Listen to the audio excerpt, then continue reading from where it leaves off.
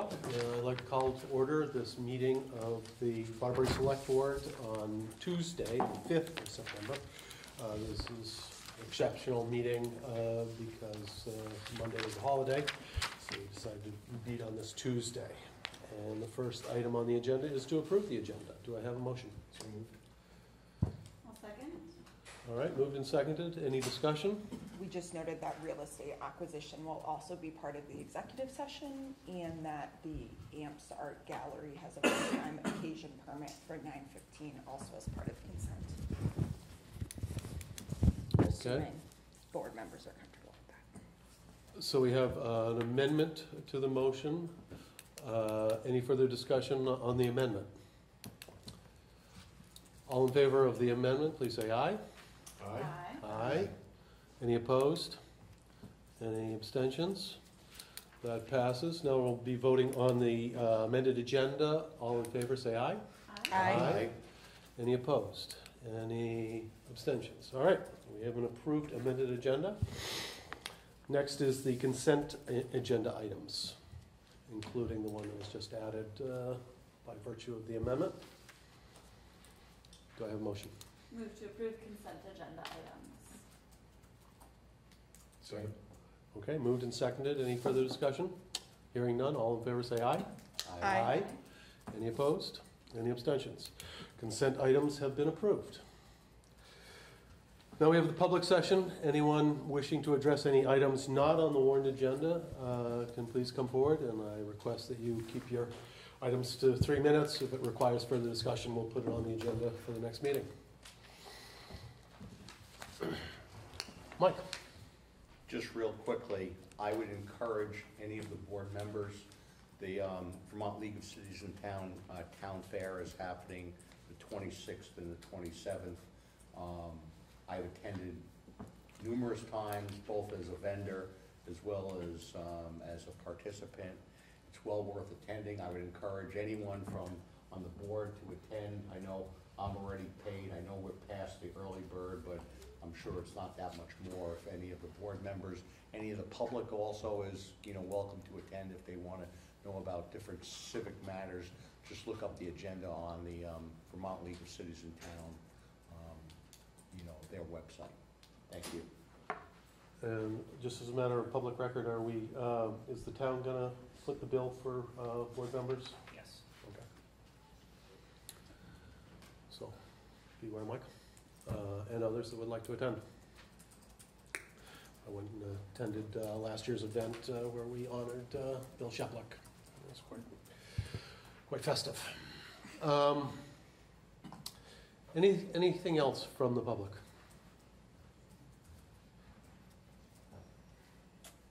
All right, let's move forward. Uh, Next item, uh, right to purchase agreement for the Stanley Wasson Hall property. This concerns a 2.5 uh, acre plot of land that uh, has been offered us uh, by the state. Uh, Tom, do you want to give us any further detail about this? Sure. Um, The bill that uh, snaked its way through the legislature um, contained a provision that the land had to be used for housing. Interestingly enough, the final version did not, although I believe that's still the intent of the board. At this state, at this point, all we have to do is, is provide uh, the state with our intent to purchase. We have until uh, June of next year to, to actually provide a a written offer. Um, We can discuss pricing later um, and negotiate with them. Um, So it's the first step. Once we, uh, once we get to the second step, um, my hope is that the state would entertain an option agreement we don't have to make a payment on the property or a substantial payment on the property till we have some form of development agreement uh, executed, um, so we know the fate and we can decide that on our own. Um, I've talked with a number of, uh, a number of people in the housing development world, private sector, nonprofit sector, um, and they all tell me the same thing, and that's that developing multifamily housing, whether it's market rate or affordable housing, is a challenge. Um, I wouldn't, I wouldn't have automatically assumed that, given, given what people are paying in rent right now and given what the housing market is. Um, It's a challenge for a number of reasons. part of it is that um, the market for single-family homes is so good that developers can make such a high margin.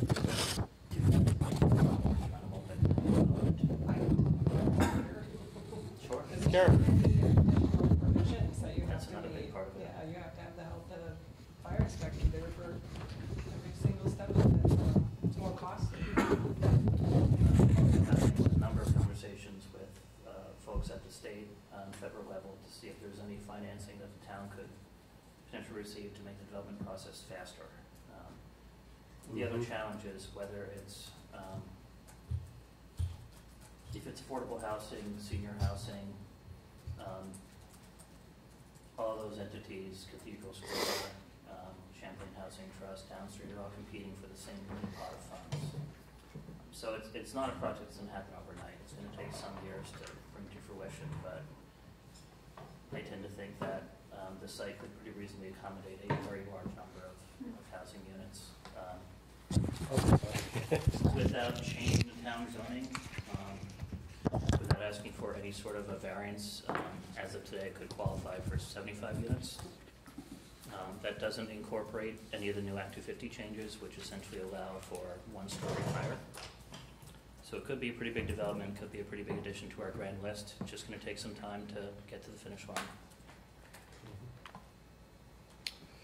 And were we not to use it for housing, uh, would there be any other reason that the town should acquire this property, in your estimation? No. Just us. Mike? Hard to me, but my experience in the housing world kind of comes into play. I'm surprised why the state is not saying, making, saying this is where we're at, and then we come back with a number that we may think it, that's, that's how it's usually done. You don't go buy a house, say, I'll give you two, three hundred thousand dollars, you know, and they say, boy, I was only gonna ask two hundred fifty. So that's why I'm really a little skeptical. I would like to get a number from the state as to what they think, uh, the market value is. And I think it can be used, I, I think housing would be a, a, a a huge addition.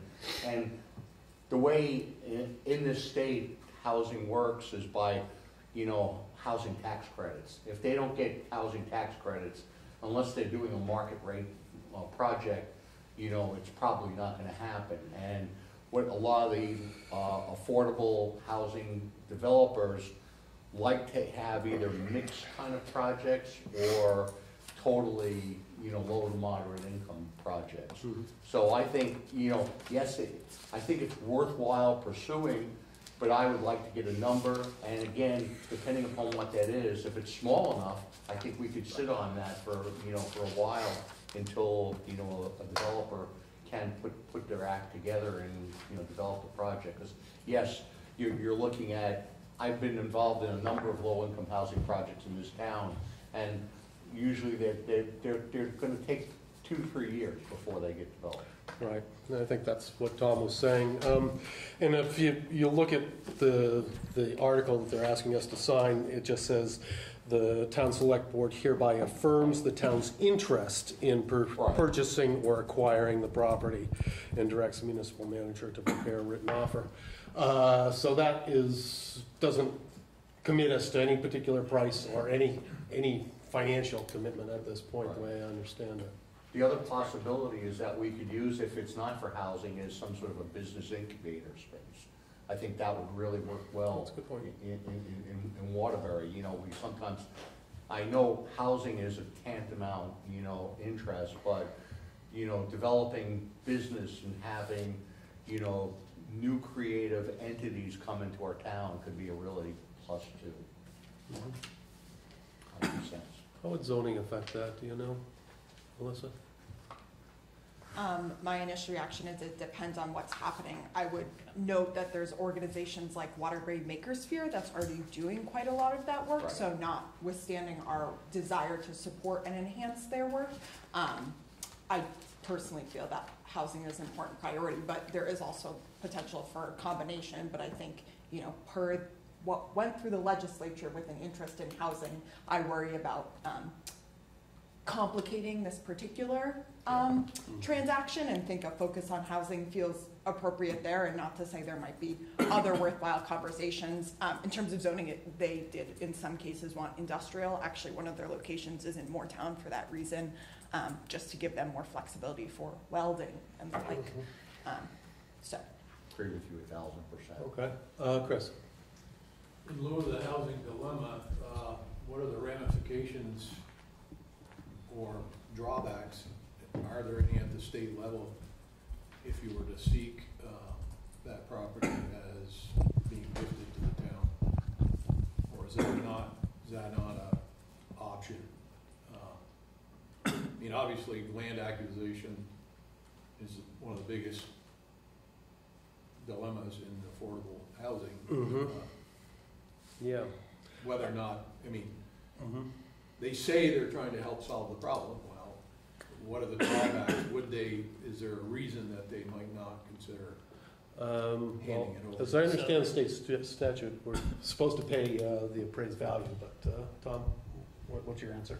So the, I don't know if it's statute, but I know the history is that the state's position is, you know, they acquired that property, they maintained it for some years, the taxpayers paid for it, they have an obligation to get a fair return to all the taxpayers of the state and not to gift any one town. That being said, um, I think the state hundred percent recognizes everything you've said about housing, and so I'm not sure that we need to start with a high offer for this property. All right. Um, we do not yet have a motion on the table, uh, about, uh, approving and signing off on, uh, this, uh, intent. Anyone care to make it? Alyssa? I move to approve the Town of Waterbury Select Board Resolution in support of acquiring property from the state of Vermont and with significant apologies to our manager, Tom Leitz, who sent this to me ahead of time. It's February twenty-seventh. I'm so sorry because, Um, Yeah, okay, we can make that edit. um, but otherwise, which is non-substantive, I second who that did send it to me ahead of time, so I'm very sorry. All right, moved and seconded with the uh, typo corrected. Um, any further discussion, Danny? One quick question, would we have the opportunity to review whatever offer you put in before it goes forward? Yes, I actually, assume I you don't have the legal authority to buy property without your approval. Thought so, just, you know, say that out loud. Alright. Don't be going out and pulling a fast one. And just, Okay. All right, moved and seconded. Any further discussion? I would just say out loud that the final clause is the select board hereby affirms the town's interest in, quote, purchasing or acquiring the property, just as per the discussion that was just had here. Noted. Got that? Any further discussion? Hearing none, all in favor say aye. Aye. Any opposed? Any abstentions? All right, I will start by signing this agreement. Or should I wait for the I'll I know, I'll I'm so sorry. It's. I checked the minutes. Great, thank you. I you. thought I did too. Apparently not. Maybe I'm wrong. Next on the agenda uh, is the letter of attestation uh, for a downtown organization to receive funds, which is revitalizing Waterbury.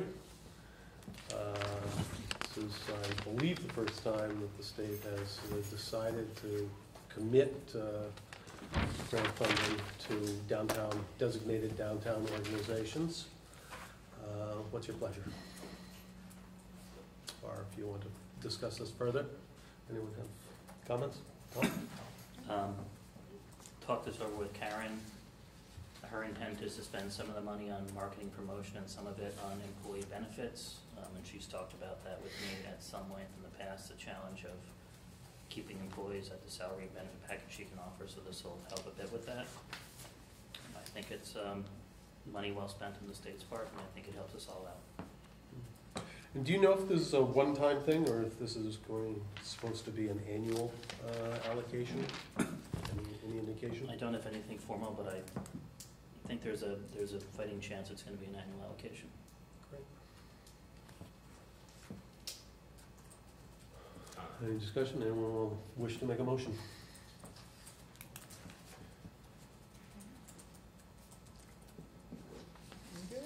Sure, You- you're on a roll. I move to approve the municipal letter of attestation for the Downtown Vibrancy Fund for the revitalizing Waterbury. Second. Okay, moved and seconded. Any further discussion? Hearing none. All in favor, say aye. Aye. Any opposed? Any abstentions? All right, we've just approved twenty-five thousand dollar grant from the state to Revitalizing Waterbury, our designated downtown organization. Um, Recreation presentation and staffing. Katerina, would you come forward? I can walk them through the, the fifty thousand foot, and then we can get into some detail as needed. And I don't know if you want to bring Bill or any other members of the recreation? No, you're, you're happy back there, Bill? Good. So the, starting higher level and zeroing in, um, I believe the plan for two years now has been to have two full-time recreation employees. We've never been able to execute that, so I'm hoping we can now. I took our actuals for this year and, and did some forecasting, and, and the reality for this year is when summer is over, much of the budget, revenues in, the expenditures are out. And this year, um, on page three, in line one twenty, um, the forecast is that the, the budget was for recreation in total to, to cost town taxpayers three hundred fourteen thousand dollars, and we're, we think we're gonna be pretty well under that, um, which is nice. Um, some things can still happen, um, some of that depends on how much we wanna transfer to the capital fund, but, um,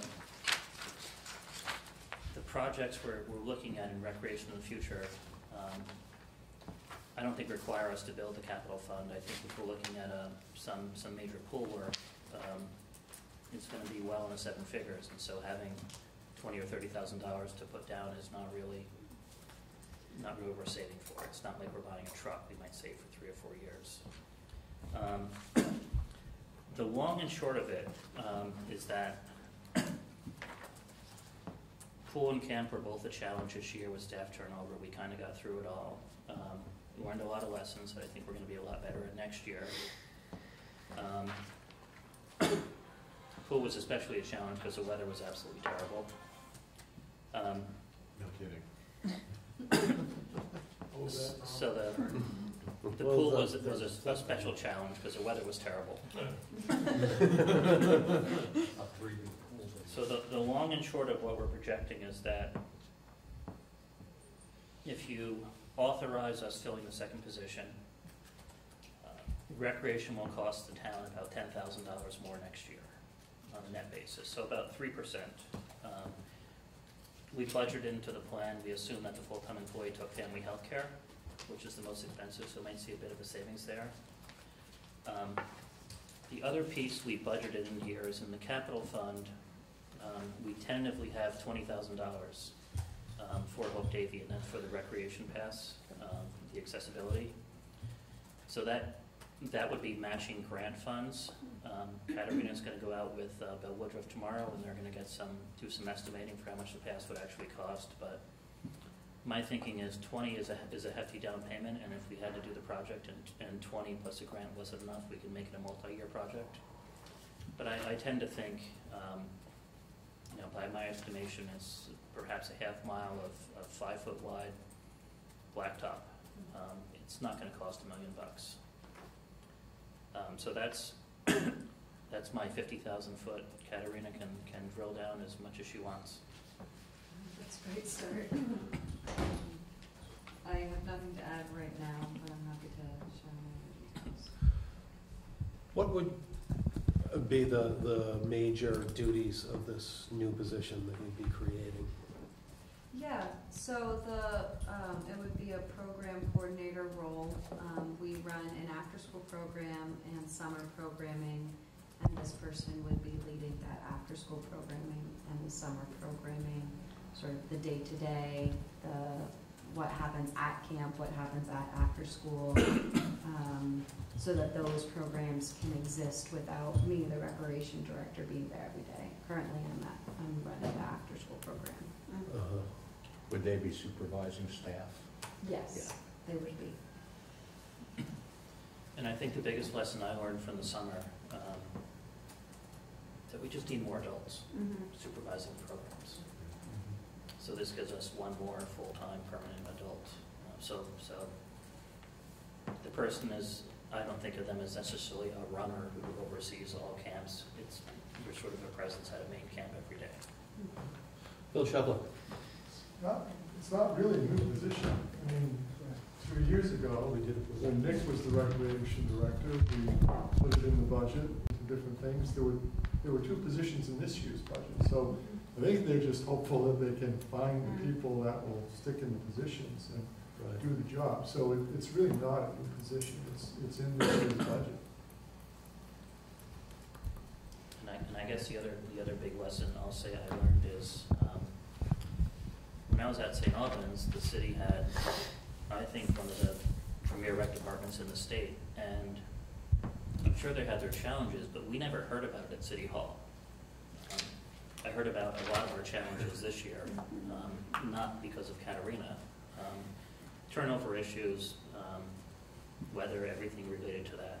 Um, But I came to realize how difficult running the summer program especially is and, and how we, I think we really need this position and I also think that, um, we rely so much on the camp counselors and they work a lot of hours and I don't think that's a great model. I hate the idea of high school kids working 50, 60 hours a week in the summer. I'd like to have double the staff next year who work half the hours. I think fresher, better staff with a smattering of some, some older folks. Um, Tom Drake has been here a lot. Um, I told Tom Drake he doesn't have a choice, he's gonna work for us next summer. He might give us a day a week, but we'll take it. Uh, Ken? So is the ask to fill this position that we now know it's, it's existed the whole time? Um, and then on top of that, approve the tentative twenty grand for Hope Davey? That's already in the budget, isn't it? It's already in the draft. It's, it's to approve the position, understanding that we are gonna ask for, in that rough amount, a net increase from the taxpayers for recreation next year to to help support it. Katarina, what happens now when, like, you're sick on a certain day, or you have a meeting or something? uh, that I happens? don't schedule meetings for when after school occurs, Uh-huh. um, so I'm there. If I am sick, um, we do have staff there to cover. Um, and honestly, Tom has been helpful. I've asked other, um, municipal employees to help out when, when we do need an extra hand. So this role would be a dedicated person, not pulled from something else happening at the town. Makes sense to me. Any other comments or questions from the board? Anyone care to make a motion? No one's even doing I make, a- I'll make a motion to um, add to next year's budget a uh, second position of uh, recreation coordinator. Second? Okay, moved and seconded, does that cover it? Um, I Would think it it- okay if we seek to fill it before next Yeah, year? the- we- he wants to fill it like now. Okay, Well, we don't have a candidate, but we'd advertise. We wanna we post it, Get started. like tomorrow. So do we need to amend the motion? Uh, I think we might, yeah, uh, before you start. Uh, Mike, uh, Bill? Just, just to comment and reiterate, so when I heard about adding a, a new position, I was pretty excited to hear that that would be a new position. Um, we have had and have needed, um, a director and a program coordinator. Um, and I think the program is growing and, positions will be needed, and I thought maybe that's what we were anticipating. It'd be interesting to hear, um, how many people were part of the rec department that Tom referred to that was so excellent. Um, so just to reiterate, this is a position we've already always had and we're doing without and needs to be filled as quickly as possible. I thought the motion was about the spending for Hope Davey and maintaining the position or whatever. Uh, Although two separate things, but just to reiterate that that's, that's not a new position, it's not a new ask. anything changing in the budget right now, or what is changing right now? Nothing would change right now. The, the forecast we have for this year still shows a surplus. Okay, so then our motion is, is to, and does it need to be a motion? Or if it does, like, our motion then is to, um, Endorse. the plan. endorse the plan of advertising and filling the position as soon as possible. Okay. Amended? Friendly amendment. Okay. Um, Let's uh, first uh, vote on the friendly amendment. Uh, Any further discussion? Hearing none, all in favor say aye. Aye. Any opposed? Any abstentions?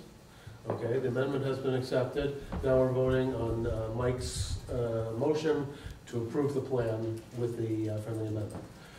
Any further discussion? All in favor say aye. Aye. Any opposed? Any abstentions? All right, you have our endorsement. Move forward. Thanks a lot. Thank you. Appreciate it. Can I just make one clarification, just because it really got me going? I was like, we definitely budgeted way more than three thousand to capital fund, and I just want to say, that was the It's in- parks it's in maintenance to places. capital fund line, not the overall. There's like, was Yeah. sixty like thousand budgeted. I just was like, I know we put more than that in there, so I just Yeah. had to say that, because it was mm-hmm. giving me a moment. All right. Next, we have a police presentation and public safety uh, by Lieutenant Charles Wynn. Lieutenant Wynn? That's all right, your timing's excellent. Shocking there. As you come forward, I'd like to personally thank you and your team for, uh, a number of weeks ago, we had uh, a resident from Waterbury Center come forward uh, expressing extreme concern about public safety, about uh, a resident who was acting uh, strangely and uh, threatening public safety in the neighborhood. And um, within the next couple of days, you and your team posted uh, six officers to that site, uh, who were there for six hours until they had uh, authority to go in and uh, take the uh, person in uh, under arrest. And uh, so I want to just thank you for your responsiveness uh, to that particular issue and, and everything else you do. Yes, sir. Oh, where's your me, sir? Right there. All right.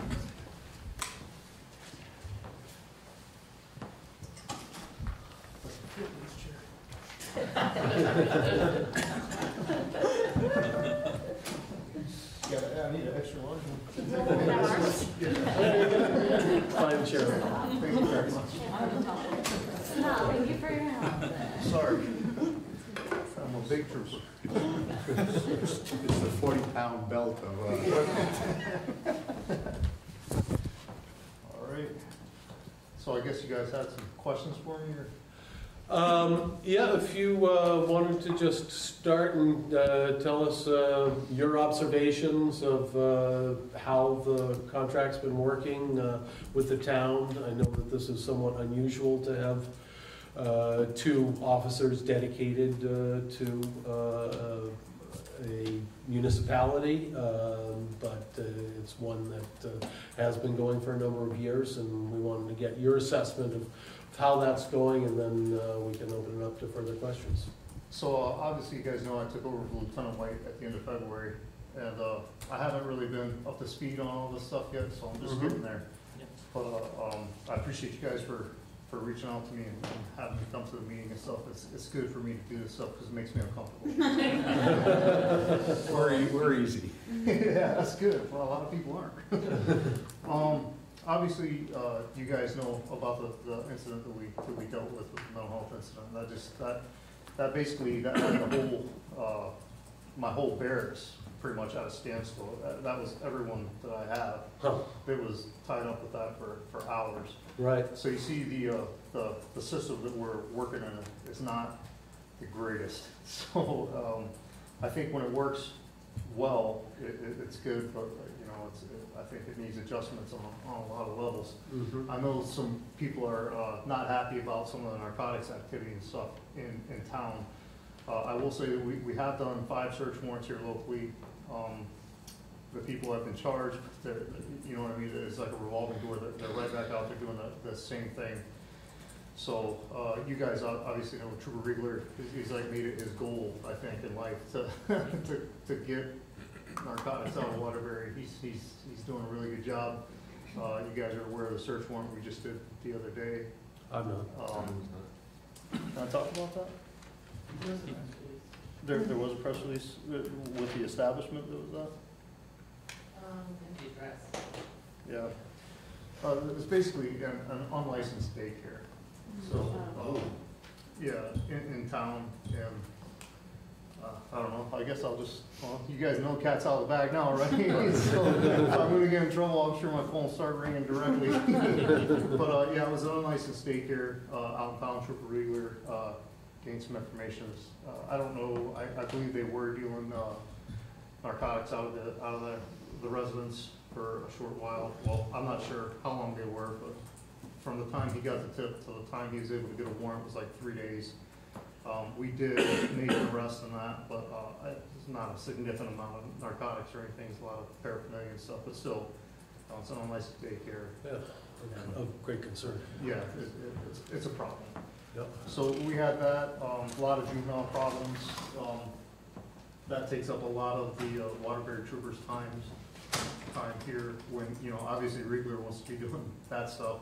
Have, have, I, I, I'm not familiar yet, do we have like a loitering ordinance or anything like that here, or public cameras or anything up? 'Cause Some of these Not that I'm incidents aware are- of. No. some of these, I don't know if that's something we wanna think about, uh, some of these incidents are raising to, you know, w- we had, we've had a shooting and, uh, a stabbing involving juveniles, and the stabbing, uh, why the court didn't charge that as attempted murder is beyond me, uh, she charged it. Was with, it because it was a minor, or, Uh, I, she, uh, no, okay, all right. but, uh, I, I mean, uh, you know, maybe one day you could see the pictures of, of the injuries and stuff. It, it, it's minor or not, that, that, it was a serious incident. Sure. Yeah, that's not my phone probably going off. No, it's Somebody- Yeah. It's I on- bet you were getting more attendees. Yeah, so I, I think that, um, these are, these are things that'll help us, I think, um, maybe better enforce things. It's hard, right? Like, we're not, I'm- I'm- we're not parents, you you know what I mean, to these kids and stuff, but, you know, it's hard, why are, you know, fourteen, fifteen-year-olds, sixteen-year-olds running around at eleven, twelve, one o'clock in the morning out here in these parking lots and stuff and, and doing whatever that they're doing, and, you know, it's, it's, it's getting to be a problem.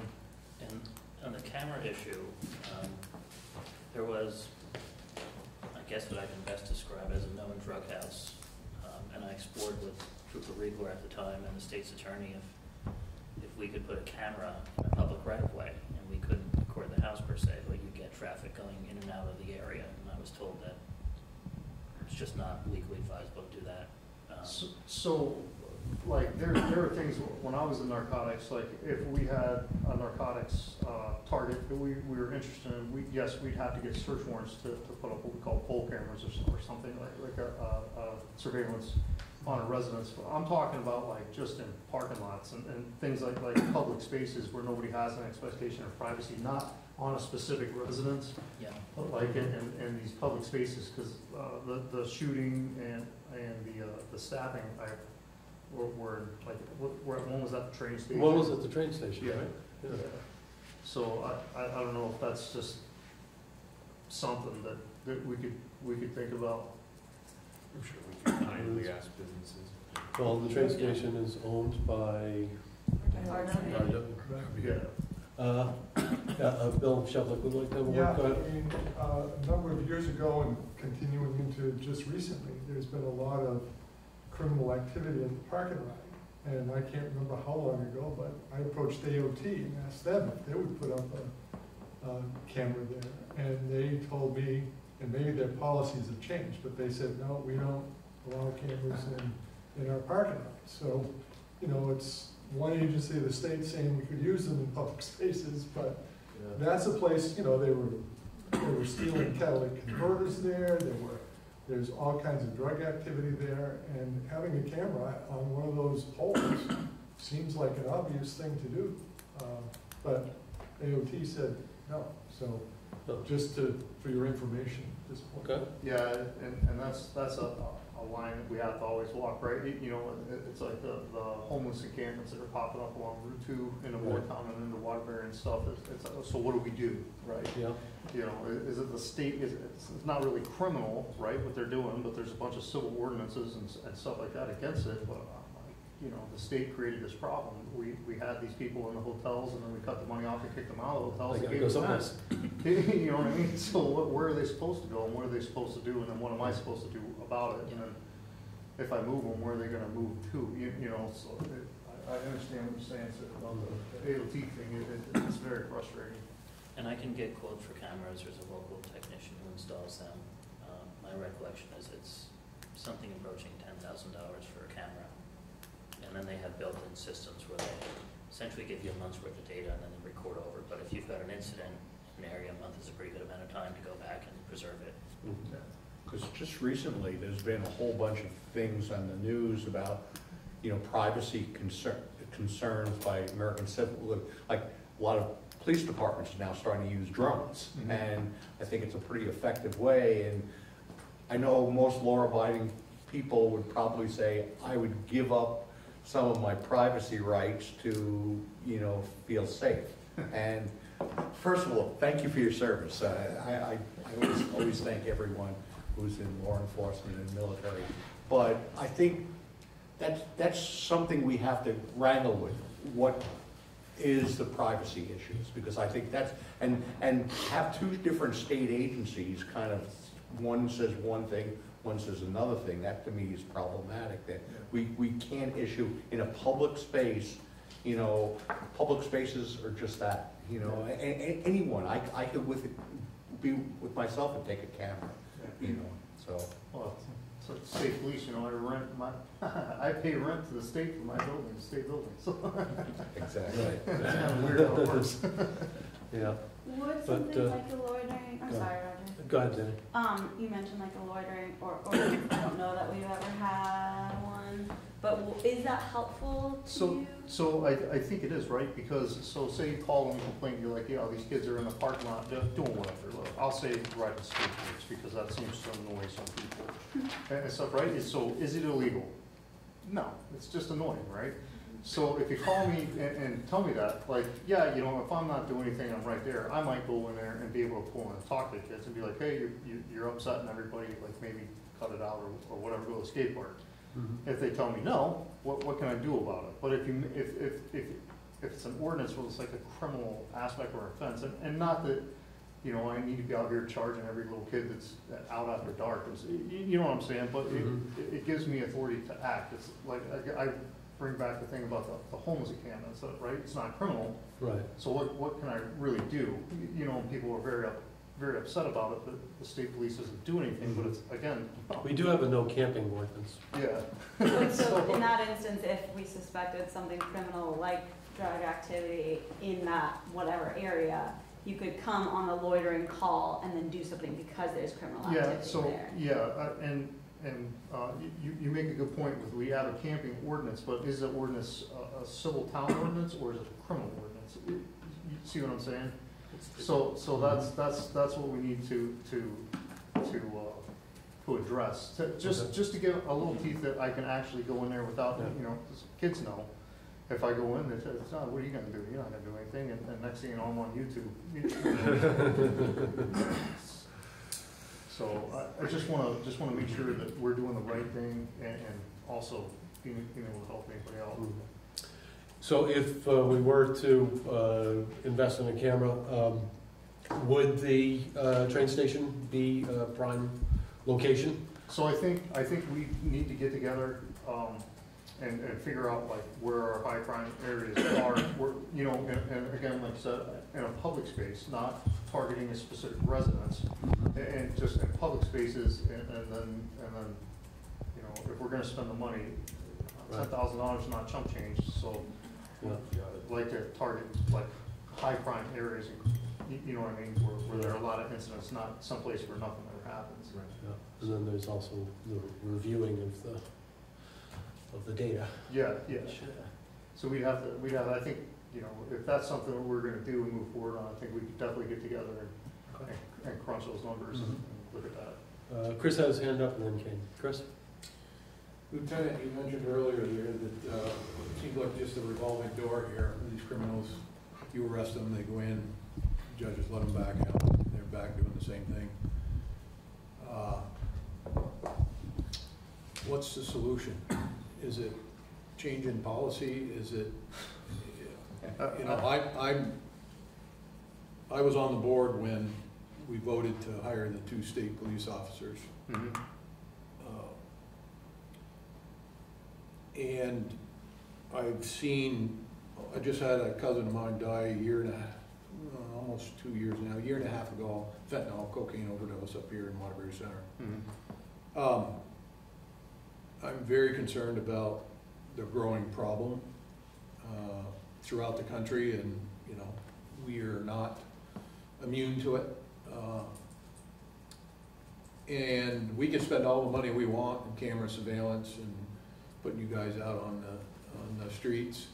If, doesn't make any difference to spend all that money if they're just gonna keep letting them out. And so I'm wondering, is it legislative policy, is it, what's, what's controlling the ability for the judges? Wh- wh- Where is the judge's mindset these days? I And- I wish I could answer that question, but. well, I uh, mean, is there a different approach than throwing more money that does, gets us the same results? Is there, is there pressure that needs to be put on some of our elected officials? Uh, is, is it money within government that's, you know, it's a, it's another business? Yep. Uh, So, so with that, uh, uh, I- believe me, I share your frustration, because, uh, there, there's a lot of things, I do major crashes for the state police, right? And and a few, a few years ago, we had a girl that was texting and driving, she killed two people. I think the Chittenden County State's Attorney, like, uh, didn't charge her criminally and gave her like a two hundred dollar civil traffic ticket for killing two people. It, you know what I'm saying, like, okay, so what message does that send, right? A- And granted, do I think a seventeen-year-old kid needs to go to jail for the rest of her life for making a mistake? Absolutely not. But a two hundred dollar ticket or whatever it was for, for killing two people, you, you know what I'm saying? Uh, Um, so yes, I, I think people need to vote. Um, you definitely need to, to, to put pressure on elected officials, I think, to hold, you know, we often talk about like qualified immunity and things like that with, with the state police, like removing qualified immunity from the state police, but judges and lawyers have qualified immunity, and one of the senators at the time, or legislators at the time said, well, judges and lawyers do nothing wrong. That's why they get qualified immunity, but police, you, you know what I mean, like, uh, it's not a perfect world, but you, you see where I'm, like, the thought process, and, and like, who holds judges accountable? I don't know. Yeah, so I was gonna tell you something, I'll tell you the same thing that I've told many officers. In fact, Lieutenant White, when he was here, I told him. And I had a two-hour conversation with another police officer not, not too long ago, and I've told several officers this thing. And these people, they're probably not wanna, gonna, wanna hear it, but in my opinion, if I were you guys, I'd all get together, go up to the state capitol, lay your badge on the table and say, till you guys change the rules, start helping us, we're not gonna help you anymore. Yeah, It's, uh, because, I, you know, that's just the way I would be if it were me in your shoes. it's, it, it is, it is very But to frustrating. get everybody on, on board to do that, because what's, what's, what's, what's the legislative body gonna do? We have, I, Huh? There's not a whole bunch of you guys waiting in line to take your place. You gotta address this. Anyway, Okay. Uh, Kane, for your time. Oh, appreciate you. um, what I was going to say was, while we were sitting here considering cameras, drones, and talking about making civil ordinances criminal charges, um, and just before that, we were talking about camping, because we, u- it was used as an example of a civil ordinance that we have, right? And then we immediately transitioned to, well, what if we made this criminal? Um, I would suggest that the board steer clear of, of mentioning those two things in the same paragraph, um, where it would paint us in a light as we see houselessness as a criminal activity, because it is not. Um, See, what is a, Cri- uh, criminal activity? camp, camping, houselessness. Oh, Yeah. homelessness. Yeah. homeless is, it's not, that's what I'm saying, it's not criminal, like, why Yeah. should I be doing Right. that? Well, it Why should should be. Uh-huh. So, These are, these are folks, these are folks who are put in a position where they have to camp, right? Or they have to camp Right. somewhere else. There's, they're camping regardless of wherever they are. Yeah. Um, so that is a, a, a crackdown on something like that has proven time and time again in cities across America to be absolutely fruitless. Um, so if we're talking about, um, putting up surveillance in areas, um, of high crime, I think we need to determine where in our tiny little downtown designated district, the high crime exists before we go into discussions about surveillance. Right, and that's what I think he was suggesting. Danny? Well, he- I'm hesitant to take more time, but it just feels important to say out loud. Similarly, um, you know, Chris, we share the concern and remembering that there's not one answer, right? Like Lieutenant talked about some things we can do in terms of the justice system enforcing things like the young woman you talked about, but also remembering things that are perpetually not working. When people go to prison for things like drugs, and they're not necessarily rehabilitated or given mental or physical health services and then put back out into the world with no resources, they turn to doing what they were doing before in a lot of percentage of the cases. So just remembering that the cycle, the system itself needs work, what we're offering folks need work, and it is such a huge problem that we're not gonna solve here. But I think we're all are on the same page of working to make Waterbury safer, healthier, and better for literally everyone, including the folks we're talking about who are going to need, you know, Yeah. help. Um, so it just felt like, to wrap up that piece, you know, keeping that in mind, so thank you. I'll forgive my frustration. I'm no, I, I share it deeply, but just looking at the whole picture is important too. Um, uh, Lieutenant Wynn, uh, you've, you came uh, indicating that you've got staffing, uh, So, yes. So we do have Restrictions. Staffing issues, I figured you guys would get to that eventually, so. um, So obviously, you know, I have two troopers that are assigned to Waterbury. Um, right now, Trooper Riegler is in Waterbury. Um, Trooper Rancourt was pulled from Waterbury to be an acting patrol commander in Berlin because I don't have, I don't have enough sergeants. I moved another trooper in here, his wife just had a baby, so he's out. So right now it's Trooper Riegler on the tenth. Uh, well, I don't- I don't even know what today is, today's the fifth. fifth. So, so on the tenth, uh, I am having a trooper assigned permanently to Berlin, and she will be the new, uh, Waterbury trooper, so she'll, that'll be Okay. where she'll, she'll be stationed, so I'll have two full-time again, it'll be Trooper Riegler and Trooper May Murdoch. Name Murdoch? Yes, yes, sir. Okay. Will Trooper Riegler stay on day shift? What's that? Will Trooper Riegler stay on days? Yes, I, I- I believe that's where he wants to stay. So, uh, she'll, she'll be here on the tenth, and then, uh, I think she'll start maybe the eleventh or the twelfth, I, I don't have the schedule in front of me, but she- as soon as she gets here, give her the day to settle in, and then Uh-huh. she'll, she'll be, she'll be assigned here. Yeah, okay. Uh, this question could either be for you, Lieutenant, or Tom. So we have a day shift, it's Trooper Riegler. Is Mur- Murdoch, was her Yeah. name? Uh, is she gonna night shift? Yes, correct. Okay, that's great. We've had a- uh, quite a slew of complaints from Waterbury Center about things going on at night. Yeah.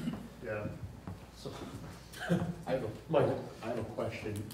I know all these issues with drug issues, homelessness, probably are to a higher issue, but we hear a lot about the more mundane kind of issues, like speeding. Speeding's become such a polarized issue on a lot of our roads, and I don't know what the solution is. We've talked about getting the, uh, you know, the sheriff's department involved, you know, maybe doing speed. Do you have any possible suggestions? Because I know you're fighting with staffing resources. Uh, We totally understand that, but any, any suggestions for us to help the speeding problems? so I, th- I think we could do a better job with, with traffic enforcement stuff. Again, I, I- you know, I, you guys tell me, I, I doubt they want Trooper Riegler sitting there just hammering the people Waterbury with tickets, but, you, you know what I mean? Like, uh, I think just being more visible, um, stopping a few more cars. Just showing up a few you know, times, giving a few tickets. Yeah, it's e- Does a either lot. tickets, warning, whatever, whatever it does, is, uh, I'm looking at some of the numbers from September first last year to this, September first this year, I think they made two hundred ninety-five traffic stops in Waterbury between two people. Um, I know Kneeland Flats, there's a couple other places up here, it's like, a- you go up there, it's like a, you know, racetrack, it's like Thunder Road, so, um, and So, I have ideas of, of what I would like to do to, to get out here and, and slow some people down and, and, and do some DUI enforcement and stuff like that, but it's just, uh, just having the, the troopers available, and then when I do have troopers, it, it's, you know, call after call after call in Williamstown and other areas, so it's, it's difficult to get guys in one spot to go and mm-hmm. be highly visible and stuff for an extended period of time, except for when we dealt with our friend a couple weeks ago. Well, I know uh, my 17-year-old son got a speeding ticket on Stowe Street, and uh, that was very effective. That that really got his attention. And the fact that he's still carrying a couple of points on his license, uh, you know, it cost us a couple of dollars, but, uh, you know, I thought, you know, there's nothing really wrong with that. He was in the wrong, he understands it, he goes slower now. And uh, so, you know, I think you know, there's a certain amount of that, as well as uh, the visibility thing, I think is Yeah, really I think- important. People see a cop car, they slow down. Yeah, and I It's definitely automatic. think, that- I, I'd love to be more visible. It's, uh, just, besides the Waterbury Trooper, it, it- it's hard to get guys to come up here and be visible when they're, you know, it's pretty much call to call to call to call to Sure, call. we understand. Right, So, understand. but, uh, No, Another question, I mean, you you remarked on a number of issues with kids, and I'm just wondering, do you have any interaction with students at schools? I mean, You've got Officer Murdoch that's coming on. Would it be feasible for her and uh, uh, Officer uh, uh, Riegler to, to come in and just have a meet the cops day Well, uh, at that- school? that's the kind of stuff that I'd like, to- like, personally, I, you know, not that I, I, I need to be, or, or they need to be like people's personal trooper, you- you know what I'm saying? But I think that being visible in the schools and the communities is important, like, like, for me, just because I, I think it's a, a good thing to do for kids and stuff, so I like baseball for kids. I umpire baseball, and, and, you know, it's like being a trooper, everybody yells at you and hates you and stuff. It's like we're not being umpired. Yeah. There's no question as to who's in charge. Yeah, which kid's yours, she's up. you know. Yeah. But, uh, um, that, you know, I, I, when I worked in St. Jay, that was the thing that I did as a patrol commander in St. Jay. I I had the benefit, we, we, uh, sponsored T-ball teams, we, were- we coached T-ball. And we were out there, and and just as, you know, a good way to get guys in the community, and the people see us, and the kids, hey, these guys aren't bad guys, and, and, uh, but I'd like to get into like the driver's ed and stuff like that, and talk, Mhm. and put on some presentations. It's, it's just fine at the time, and the people to come in and. Yeah, and no, I do understand it. staffing issues are tough, but uh, again, uh, we would be glad to help facilitate any of that that we can. Uh, Yeah, so maybe we can get offline or something and figure something out with, uh, getting them, but yes, uh, I can certainly flex their schedules and to make it where May can come in during the day or whatever, and, and do some stuff with, in, in the schools, I think that's important. Uh, Kane? One more question for you. When it came to um, dealing with juveniles, um, and then you mentioned the two violent crimes, um, is it mostly just nuisance with the ju, with juveniles? It's, so it's, it's just, you know, it's nuisance stuff, but sometimes they, they vandalize things. It, you know, it's kids being kids a lot of times. And, and again, like, do I need to go down there and, and get, like, where are their parents, one, and, and two, like, you know, is it illegal for the kid to be out at eleven o'clock at night riding his bike? Why is that a police issue, right? Right. And, and when I say, like, consider making things criminal, like, I, I, I, I don't wanna make anything criminal, you know what I mean, uh, uh, to get somebody in trouble like that, I'm just saying, like, if we're gonna do something, we need to do something where state police actually has teeth to act, not, not just like a, hey, you know, I, I'm more than happy to go talk to you, but I can't, if you tell me, you know, kick rocks, there's nothing I can do. Right. And, and so that, that's what I mean when I say that we- we should consider, you, you know, doing something like that. I- I certainly, uh, I got in enough trouble as a kid, I joined the Marine Corps, that's straight me out. That, that's, that's what, uh, that's what I mean when, I- when I, when I say that, I, I don't want you guys to think that, you know, we need to make all these crazy things and be fining parents and stuff like that. No, I don't think that. What's your, what's your opinion on neighborhood watches? I know Waterbury years ago, we had neighborhood watch and that kind of sort of went away. Do you think they're effective or? Uh, I, I don't really know, what because that's never been my, uh, my lane, so to speak, like, I, I've always just been either on the road or in narcotics. and So I never, you know what I mean, like this lieutenant of thing's new to me, so I don't have any of the data on that. It, it, I guess, you, you know, if, if, a community comes together and, and they're invested in, in that, I, I think they, maybe it could be effective. Cause that, that is something, like, right, that see, see something, say something thing. Right. It, you know, a, a lot of times somebody will say, yeah, I saw, uh, Mr. Kane, uh, cutting catalytic converters off cars. Well, when did you see that? Three weeks ago? Perfect. You know what I mean? It's like, why didn't you call when, when, when you saw it? A- And so that, that is important. Like, if you see something happen, like, call. You're not wasting my time. Like get paid to take these calls.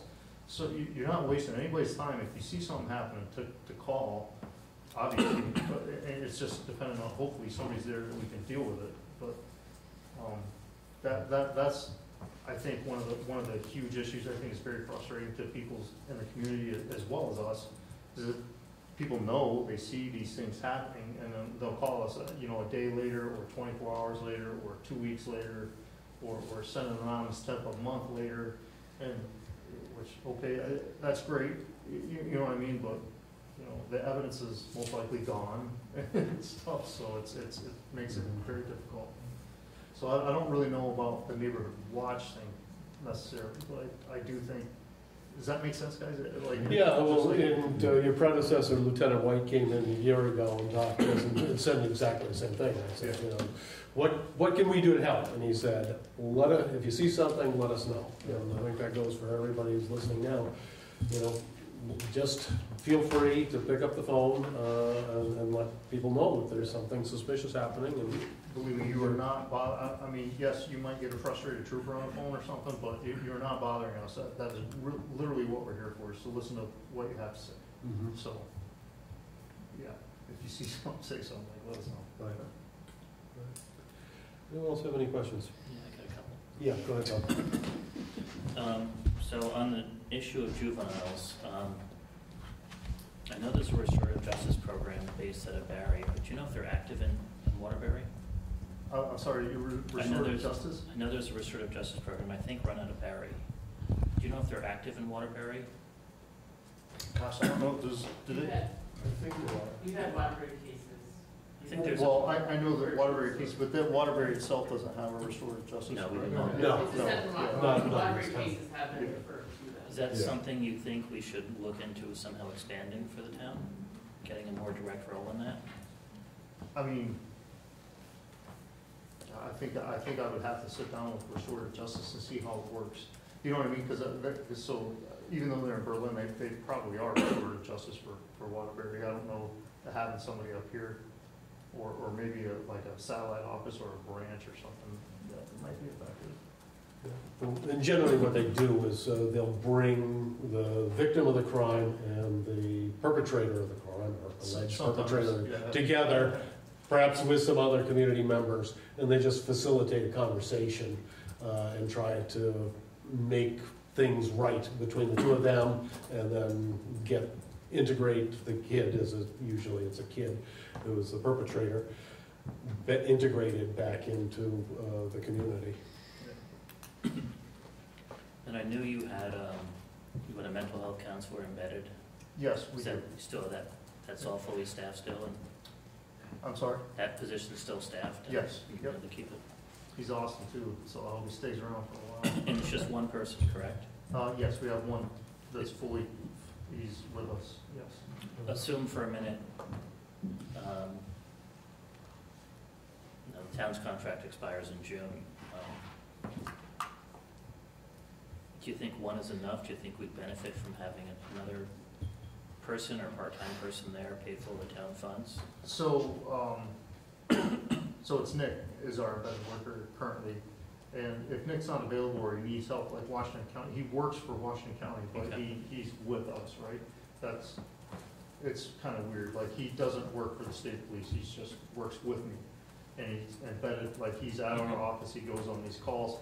So when he is either, you know, off or, uh, he's tied up on something, that, that Washington County does backfill that, so I don't, I don't know if that, I mean, I have, I, I would love more better workers, I, I think it's, I think it's good, mental health workers are great.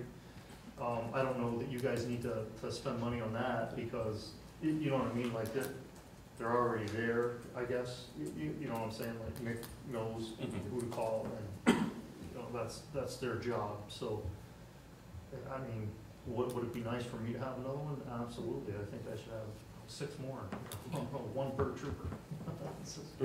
For us, to talk to us. And then is there, is there any sunshine on the horizon at all for the overall staffing challenges that state police are having? Uh, I- I'd like to think there is. Um, uh, so we just had a class, uh, I, I don't know, I think there may be, we started, I believe, with nineteen, I think we're down to sixteen. Um, I am supposed to be getting two out of this class, it'll be the first two new troopers that I've had in probably three or four years at, in Berlin. So that, that'll be a big help. We're getting May Murdoch, that'll be a, a big help. And then, uh, um, I have a couple kids from, I say kids, uh, they're just young, younger than I am. Uh, there's a couple troopers from different barracks that have requested transfers to Berlin. It's just being able to backfill them from their barracks so they can get here. So, yeah, I mean, yes, there is sunshine on the horizon. It's just, when's it gonna get here? Give us a, give us a break a little bit, but. And- there are, I ask that because there are some people who have said to me that the town should be thinking about the day when we might want to have a third trooper. Maybe that'd be your response in the short term. Uh, um, it- you, you know, it's, it's it's like, well, you, I mean, you guys had a PD here for, for, I don't know, years. A- And I don't, I'm not sure how many officers were, were staffed there full-time or, or whatever it was, but, yeah, I, I, I mean, in a perfect world, a full department, could we put three, four troopers in here? Yeah, I'd love to. Um, I, I just, uh, currently, right now, I don't, I don't know if three would, would fly. Uh, Mhm. I think you, you, yeah, that would be, that would be a tough one. The, the problem that we're running into now is that these shifts are so short that guys are being ordered in, or- and, um, you, you know what I mean, like, guys are working doubles, like, it, it's happening so much now that it's, for so long it's been happening, guys are getting burnt out now, that these shifts are open and people are like, look, uh, my wife.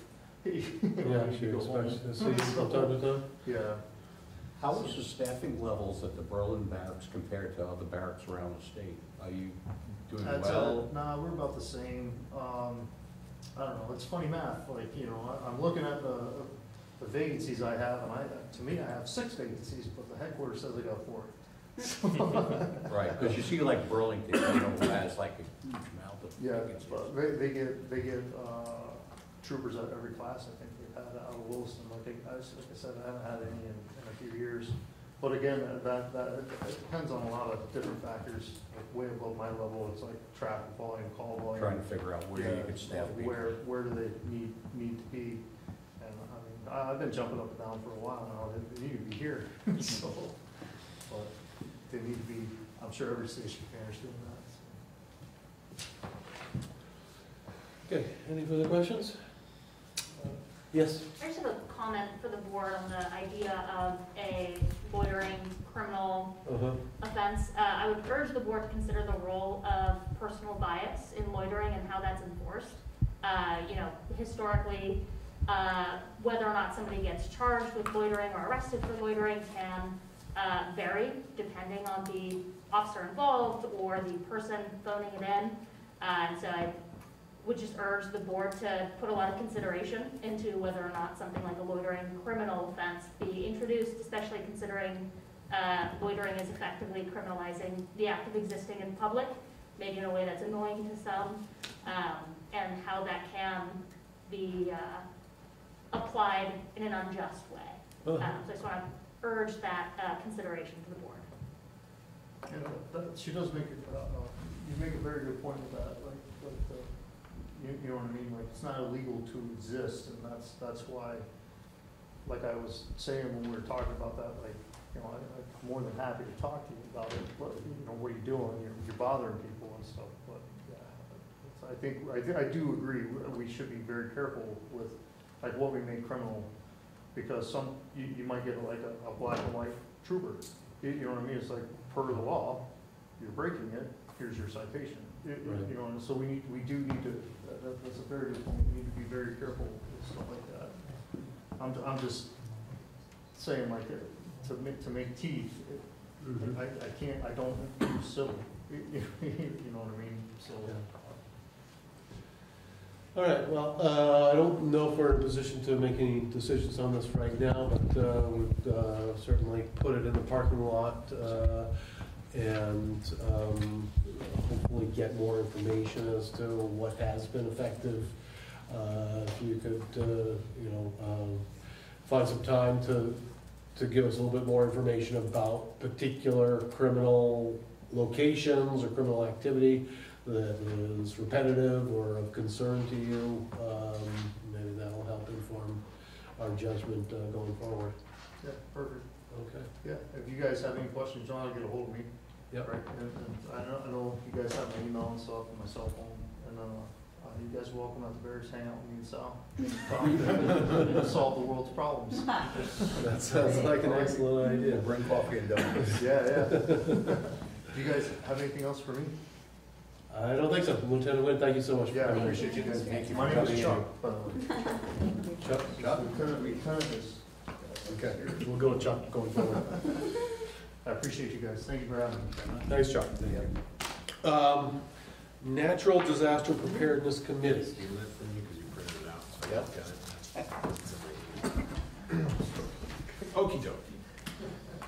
Last meeting, you asked me to define, uh, the committee, so I did a rough outline.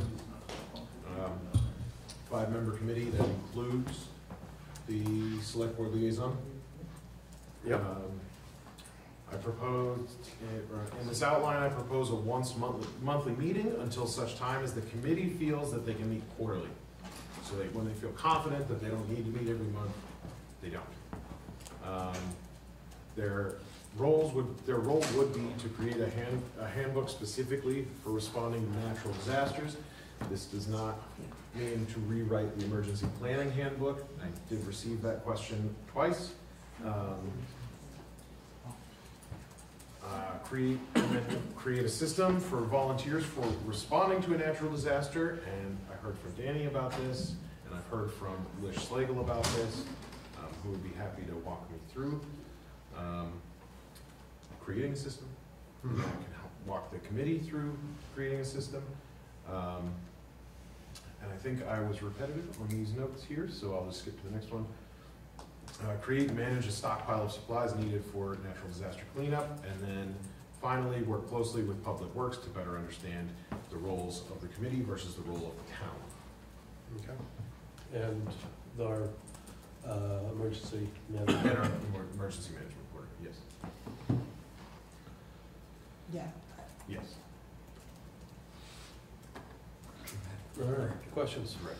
Yeah, sorry, can you just repeat what you just said? The- All- all of The it. stockpile supplies as well as define roles of which three entities? Uh, work, uh, so the committee would work closely with Public Works and with, uh, emergency, I, I, I recommended to Kane that like the emergency management director be like an ex officio member of that committee. That way, doesn't have to necessarily attend all, all the meetings, but it should be, you know, you know, that information coordinated with them. Yeah, or at least communication. Yep. Um, so that all roles are understood, the role of the committee versus the role of the town. So is the, I, I feel like you said three things, but then town and public works sounds redundant. So is it Yes. really just Oh, defining the role of Yes, the I was, town I, and so it just defining- says work closely with Public Works to better understand roles, I was just breaking that down. So I think with this outline, we have enough to go on for recruitment. Did you decide on, or think about the terms? I know we talked about it, and I can't remember what we decided, committee terms, like three, one year, two years, Yep. three years, I couldn't remember. So for five with the select board, so there's two, or, so there's four, uh, roles that we need to recruit for, I would say probably two, two years and two, one years, makes the most sense to me. And you think this is gonna, I'm sorry, I have questions, because Sure. this sounds like a lot for me. Yeah. Is that You feel like this is going to go on long enough that it requires those sort of revolving terms? It's not like the housing It task force, should. it's just a, you know, My, like you don't have terms on your housing task No, force, you we just create have terms. ten members that are working together towards a common goal and then it ends. right. Um, so my initial idea for this committee was to keep, get us to and keep us prepared for the future natural disaster. So as someone who cannot predict the future, I cannot uh, tell you when their, when their job would be over. Right, of course, okay. But it sounds, it's a committee in perpetuity. Yes. Right. Yep. Okay, so, um, Um, yeah, Bill? Um, Well, you said to, you know, differentiate the role of the committee from that of the town. The committee will be part of the town, so maybe you should say differentiate the role of the committee from municipal staff. Yeah, that's, that's what I meant. The role of the committee versus municipal staff is, oh, yes, smarter way I should have put that. And if I understand, uh, you're looking, th- this would be essentially a handbook on how to coordinate volunteer support in the case of a natural disaster. Yes. Chief? One of the things that I think the board, as well as anybody that's gonna be involved in that, really needs to understand structure. Mm-hmm. Um, because I suspect there's not many people sitting on the board that have had even the basic incident command training. Um, There's a four-hour executive training, there's incident command, there's IS 100, there's incident command 100, 200, 300, which you would not need 200 and 300. but- But those are all different levels. And I suspect that many of you haven't had any of those and don't understand, and, and I'm not being too critical, I'm just saying, you don't understand how emergencies really should be working. As opposed to, you know, we got one select board saying, well, we need to do this, and contacting the public works director saying, we need this, or contacting me saying, hey, we need to shut this road down. You, you really need to understand your role as a select board member. And any committee that you create that's gonna be involved in that needs to understand that role as well. Sure. Um, so maybe I can describe this better. This committee is for post, not during. Um, so during cleanup, it is, it is a specific design for volunteer response post-disaster. Sure. That I get. Um, But the board is involved during. Right. And I'm just suggesting that maybe you need to take some training. A lot of it is online. Thank you, we should. Yeah, we should. Mm-hmm. You did? Yeah, I think it's, Send me some links. okay.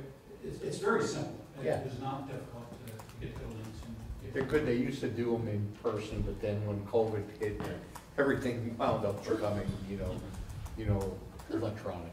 So I think, I think they're keeping to the elect, I think some people like the electronic, other people like the in-person. But I think they may You go get to more a- out of in-person training as, as a national instructor. You do get more out of in-person training. Yeah. That doesn't mean you can't do the online thing and still do, you know, a, a Sunday morning brunch of bagels and do a, a training for your board. and get more out of it and get more hands-on. Uh, and uh, Chief Boyd, what do you think about being an ex officio member of this? I, I certainly don't have any issue with that at all. Yeah. I think, I think it's important. um, And it's important to understand how these evolve. And then, as Kane is talking about, the aftermath, because the aftermath isn't the emergency. Right. And that can be handled certainly outside of the emergency realm. I think Waterbury did a, a, a great job after Irene and certainly after this last flood. Being prepared for the next event.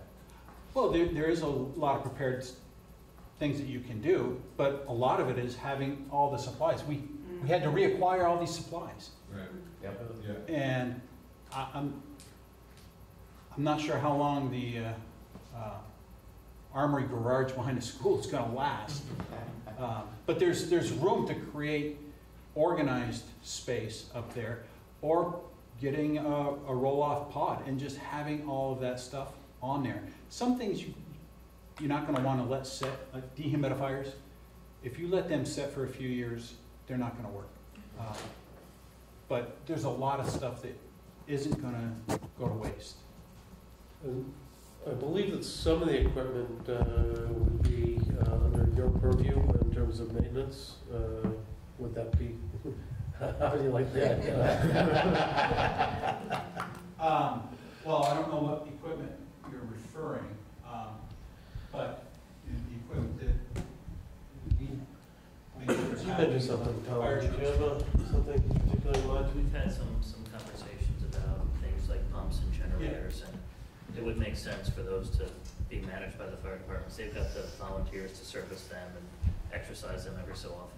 So there, there's a pro, we can work on processes and where they're gonna be stored. We don't have a huge amount of room, uh, at fire stations, but that doesn't mean if the town wanted to incorporate that into some sort of, um, for lack of a better phrase, paid night where people could go start these things up and, and check them. Uh-huh. Uh, Pumps, you know, you're really looking at not a fire pump, but a dump pump that isn't gonna get destroyed, you have chunks of stuff going through it.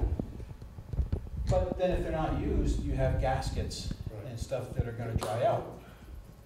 So, that's the flip side, and there, there's gonna be a maintenance cost. And we don't have a mechanic to work on them right now, so, And equipment's not cheap. no. A, a, a so-called dump pump is significantly cheaper than a fire department pump, I can tell you that. Well, I would just like to reiterate that the point of this committee is to flesh all of this out, to make sure that we are fleshed out and prepared. And it is not, it is not supposed to rival the emergency I management. understand. It is supposed to be after emergency management has done what it needs to do. Natural disaster response, volunteers have what they need to clean the town up. Mm-hmm. And as I understand it, we wanted to get this sort of up and running uh, while this is still relatively fresh uh, in our Yes. memories. Uh, So do we have a motion to um, open up uh, nominations for the four positions?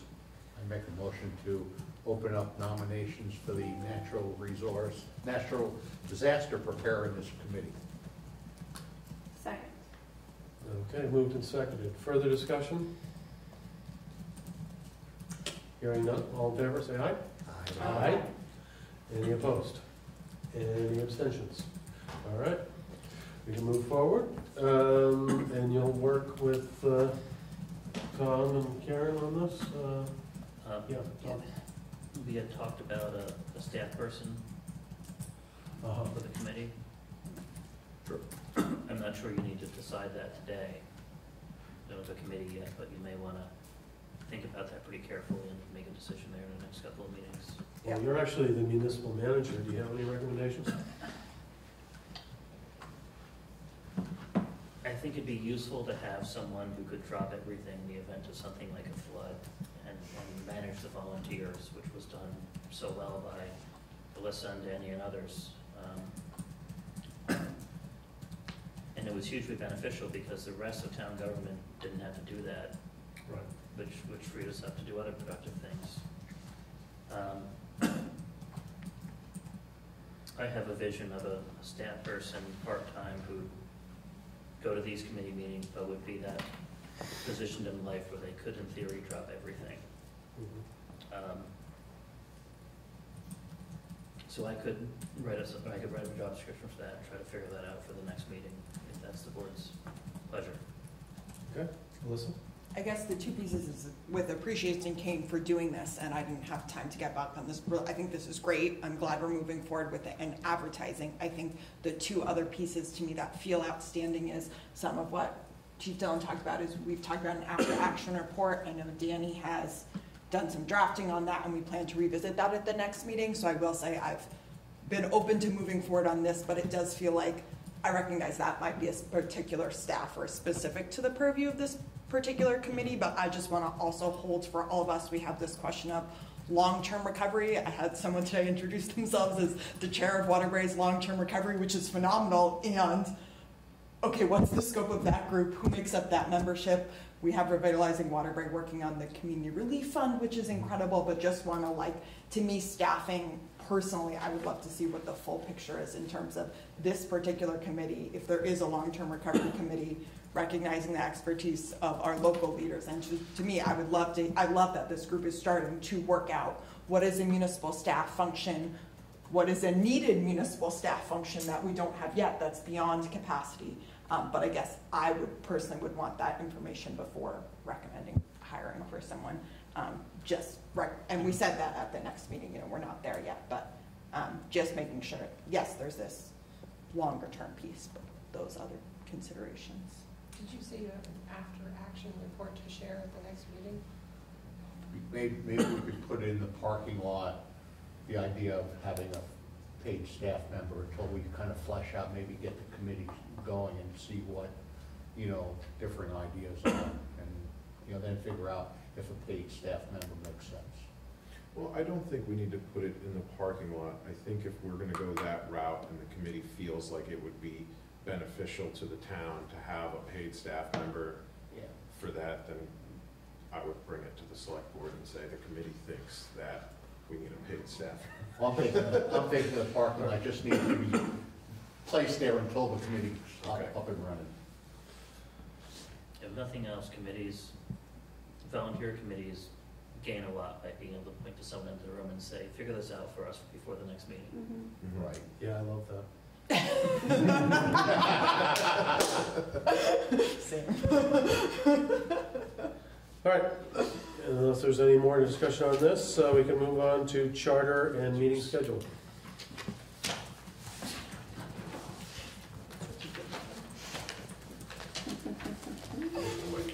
This is a whole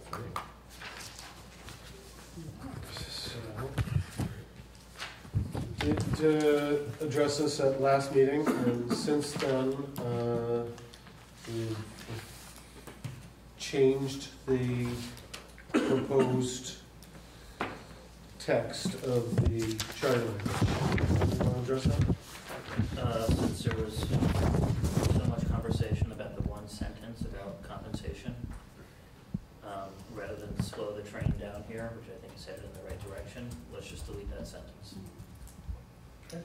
Okay. It's my recommendation. Um, Karen worked out a schedule. I'm sorry, Tom, which sentence did you strike? The sentence that It's no referred longer to here. Oh, it's no longer here. That's what- that's why I Perfect, say it. it's been stricken. setting the salaries. Gotcha. Yeah, um, I mean, it seems as though uh, he already, uh, Tom already has that authority, uh, so we felt that maybe it didn't need to be in there. Karen worked out schedules based on, based on the law. um, I believe this. Thank you. Oh, First, there is, there is an error, I'm in town as well. Oh, wow. You're in town. Okay. Okay. But, um, Are these two? Can you just remind me? Sure, I see so- you've done the sorry, dates, this I is just can't scratchy. read them. So here you have the proposed date of the vote, so like this. Twelve, so we're working back, and I'm just saying my margin, I lost it a little, so it's Okay. twelve, five. Yeah, Thank you. and then the first public hearing would take place on eleven three, Thank you. and the second public hearing would take place on eleven thirteen down at the bottom, right here. Thank you. Got so it. twelve, five vote, So that's the one that seems to work the best, frankly, with Tom's schedule. Um, I mean, okay, so now he's disclosed he's here on the twelfth, I must have scratched that off my calendar by mistake, but that, we'd have to have our first public hearing on the thirteenth, the day after he leaves, if we wanted to bump it up to November fourteenth. Got it. But I guess that is an option. so which one's your recommendation? Well, I mean, I look, I walked in here thinking he wasn't here on the twelfth, so there was only one that would work, but, so now he's, either the November fourteenth or December fifth would work. Um, The only, the only bind it, excuse me, the only bind it puts me in is that I have to post it quickly, but I, I have Yeah. a week, so And I- there's still time. I think the fifth gives us a little bit of extra time. for everybody to be ready. You'd like to have the election. And The fourteenth is the traditional federal Right. election day, but there's no election. Right. Fourteenth is election day? I think it would be the seventh. Sorry. Yeah, it'll be the first So we're not Tuesday. even Yeah. pointing towards Yeah, that. which is, I mean, it's there, but it's not. Right. Yes, Mike? Going back a little step, but regardless of, uh, this, the schedule seems reasonable, but have you gotten any input, pre-input from like revitalizing Waterbury and the business community in regards to the one percent? Some, and I keep telling everyone, that's what the public hearings are for. Okay, That's that's, what that's select board where it's gonna be, rubber meets the road is gonna be discussed. And the, the input I got has, um, it's generally been either supportive or agnostic. Um, you know, I don't, I don't think in, given how prevalent these taxes are, um, and I, I don't remember what I paid when I went to Boston and got a hotel room, more than one percent on the bill. Um, it- It's not a plausible argument to make that one percent is gonna deter people from shopping here. I'm not sure it ever was. It might have been a plausible argument to make when you're the first to do this, but all of our competitors have this tax. And there were a few communities, that would probably be the term, now it's probably, I think, most municipalities surrounding us all have the- these taxes. And I, I didn't have any data points at the last meeting, but the one data point I now have is RW did a marketing study. So they surveyed eleven businesses, so not every business in town, but it's one data point. Of those eleven businesses, um, they did an analysis and sixty percent of their customers were not from Waterbury. So it's the only data point we have, but if that's, if that's the case, there's, in essence, uh, five cents in your tax rate that's paid for people who don't live, people who don't live here, so. Um, So, yeah, Alyssa. Just to Mike's point, I'm on the RW Business newsletter list, which you can sign up for too, and they sent a special thing about our informational meeting Yeah, on the twenty-first. see So that. just to say, I think we are actively trying to Yeah. make sure folks at least know what's happening and And I agree with in. Tom, that's what the public process is for, is to, for, for those folks who do have issues for it, to air, air those grievances. And so just to be clear, what we need tonight is to approve the re- uh, revised language uh, on the proposed charter and to set the dates uh, for the uh, first public hearing and then the town. You set the date for the uh, special town meeting, and Right. then I'm responsible for the rest. Oh, okay, okay, all right. Well, let's see, that's why I asked for clarification. Mm-hmm. Uh, Alyssa? this is for Karen Basin. So is twelve-five, it looks like is a Tuesday? Is that correct? Is that because of time to count back? Because you need to warn it? Oh, I don't Right. I was just thinking, if we Yeah. generally meet on Mondays, and so I was curious why it was. yeah, I don't remember why we went with Tuesdays, there was a whole, On Monday, we have a meeting on Tuesday's traditionally been a voting day, whether we like it or I'm, not. I'm fine with it. but I didn't know if it was yes, more. maybe that's, maybe it all started with a Tuesday and it just kept rolling. I'd have to. Well, on eleven-three is a Friday, so I figured you might need to get it in on a, a business day. Like, you know, so that you're ahead of however many days you need. Yeah, And at then- least thirty days before, Um, maybe not, but thirty-one days. And Did you determine if we need to have a, uh, open public meeting, uh, or whether this need- can be done via Australian? I did speak to an attorney at the LCT who confirmed that the public meeting is just the day you vote. There's no, because you're voting by Australian ballot, and it's the only article on warning, there's no, we don't have to amass a public meeting. Okay. So we don't need to, be voted on by, I'm sorry? charters have to be voted on by Australian. Right, right. Yeah, but uh, there was a question as to whether we also need to have a public meeting and get uh, moderator Well, Kilgore The town meeting, involved. right? It's a Yes. special town meeting to Yes. talk about nothing. But, So uh, it's right. really odd the So way we, it's we worded. resolved that one, Yes. so that's good. There was one question I did So not. then that would be done here, Karen? Sorry. I think I would, I haven't talked to Liz, but I- from my perspective, I would do it here. All right, Go ahead, you were gonna say something else. Oh, there was a question on this about um, the second public hearing, no later than 10 days after the first, if the charter proposal was made by petition, which this is not. So Uh-huh. I had emailed asking for clarification on that, made by petition, and I have not heard back. Just disappointing, I used that So- info at BLC. Our assumption is, Our assumption It is would be no it's the different. same, but I did seek Okay. some clarification, but I didn't hear back. What were you asking me, Alyssa? No, I was, eleven three was a Friday for the first public hearing, which was, seemed odd, but I'm recognizing now you have to do the second one within ten days, and that's for The first one, eleven yeah. thirteen, so I understand you. Yeah, it's, you got it, you got it, it took me a little while. Oh, yeah, yeah. it took some time to Yeah, Tom was. try to get to acceptable dates. Yeah. Okay, so it looks as though we're looking at uh, Tuesday, December fifth, and uh, that there doesn't seem to be any further discussion of the uh, language of the proposed charter. So do I have a motion? I move to accept the ch- charter with the charter language as changed for this meeting. Is that all I'm doing, or am I doing the date too? Or would you do all, all at once? All right, and to schedule a vote on the charter by Australian ballot for Tuesday, December fifth, twenty twenty-three.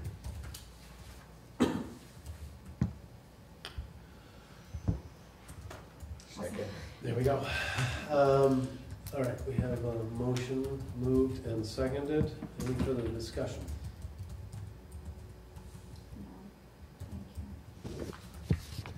Hearing none. All in favor, say aye. Aye. Any opposed? Any abstentions? All right. It is set for December 5th with the proposed language. And we can move on. And then we'll just be kept in the loop on the public hearing date. Yeah, vis-a-vis uh, your shoot, while that's- scheduling Yeah. activities. That's our town Yeah. clerk's Thank you. responsibility. Yeah, I mean, these are, these are the ones I proposed, so unless somebody tells me different. My only question is timing. I think a four PM or later hearing on a Friday, it is like not actively, but in practice negating public engagement. Not that I anticipate we're gonna have a huge amount, but I would propose if we're gonna do it on the third, we do it at noon or something like that. A daytime one? I Okay. just, Well, especially if we do have another evening one, then having a day. I mean, that's my, I have reservations with a Friday and I recognize that we're juggling multiple scheduling constraints, but Yeah. I just think it's not, and it's, it's hard because it's the first. And it, it says at least thirty days. You can do it on the second if you want. You don't have to do it on the that? third. Sorry. Oh, you could back it up more. Yeah, Thursday, see, the first public Friday, hearing Because it's the is 10 is at the least problem. Thirty days before, Okay. so you can, you can, You've got enough wiggle room, I think, the way the law is, you know. And I wasn't reading, I was just trusting Karen's yeah. writing on the side, like and it then date be given done was by eleven, that day, written not by that that date. The Yeah, non-issue thank is you. set for twelve. But whatever day you have the first one, you have to have the second one 10 days later. Right, more so that's the 10 problem, so we can't do the thirteenth, which is our, Yeah. well, it's not even our regular meeting, it's a planning commission, it's the second Monday. Um, You don't have to do it here. You could do it at St. Leo's. You could do it, Do it at the fire station. But yeah, it's fine. again, I, I stand by what we did, like I said, I just, speaking as a very enthusiastic local government attendee, I'm not coming to a hearing at four PM on a Friday, so. Disappointed? Yeah, Bill. Drawing somewhere. So, just an observation, it seems to me that this is, that, uh, this is really to get a local option tax, right? I mean, it's called a charter, I haven't read it at all, so I don't know what it is, but a charter typically talks about how you're gonna govern your community. The local option tax is, seems to be, from what I'm hearing, that is the big rush. I read the article in last week's roundabout. And I'm assuming that you're just trying to get this in so the legislature can act on it early next year. Correct. And I'm a little concerned, uh, I'm a little concerned that, you know, are we looking to have community buy into this? I mean, the vote on, on December fifth, um, in and off, I mean, if it was the election year and, and you were voting for president and everything else, have a charter election on November seventh or whatever the date is, that would be wonderful, but there's no election. So I just want to warn you, if this passes, you know, I don't know, you're gonna get hundred people come out and vote on a Tuesday in December? Um, So if it passes, then you have to wait thirty days, and if somebody turns in a petition thirty days after in January to uh, rescind this, then you have to warn another town meeting for thirty days, now you're into February, so I'm not sure why you're just not doing this on town meeting, it just seems, this is a big rush. I, I, I read what Tom and Teresa said, and I, I know that there's concern about local option tax. Uh, some legislators don't like it, maybe this is gonna disappear, and if this is our only chance to get it, maybe we should do it. But it just seems like there's a big rush here, and we're rushing to get something that a very few people are gonna vote on. And I'm, I'm, I'm not upset about, it. I mean, I'll go and vote, and I'll probably vote for it. I, I think the local option tax is a good thing, but I think community buy-in is a good thing too. And I'm just concerned that this is really being rushed. Well, uh, just an answer. Um, We have been, this has been on our agenda Well, for, for two months now, so, Probably five or six months. yeah, maybe more than that. So I, I don't know that, in my estimation, that's a huge rush. Anyone paying any sort of attention will have seen it. And we have been reaching out to RW, which does include most of our merchants who are gonna be impacted by this. Uh, in fact, the whole town will be impacted by this, but, uh, I think in my estimation, in a positive way. I'm just still talking for a second. sorry. Um, so, I don't, I don't see that we're actually rushing into this, uh, and certainly you're entitled to your opinion. Um, but yes, we are trying to get this in line so that it can get passed by the legislature, because that is a significant hurdle. And if we miss that opportunity, we'll be out a year, and we may be out forever, because uh, our two representatives indicated that the mood of the legislature is to shut down this opportunity to mis- municipalities. And that is a window that we don't want to, want to avoid getting closed out of. Chris? So I'll jump on that a little bit there. Bill just kind of went through the process of how it would work with the thirty-day wait, uh, wait for the appeal and whatever. That is the process, that's how it works. Right. Um, To your point, what you were just talking about, the legislative body possibly doing away with the ability for local options tax. I remember Tom stating that, he said eventually the state will raise rooms and meals anyway. Well, we won't get seventy percent of it if they do it. This way, if we get the local options tax in time, and it, and it passes, we'll get seventy percent of what we collect, not thirty percent.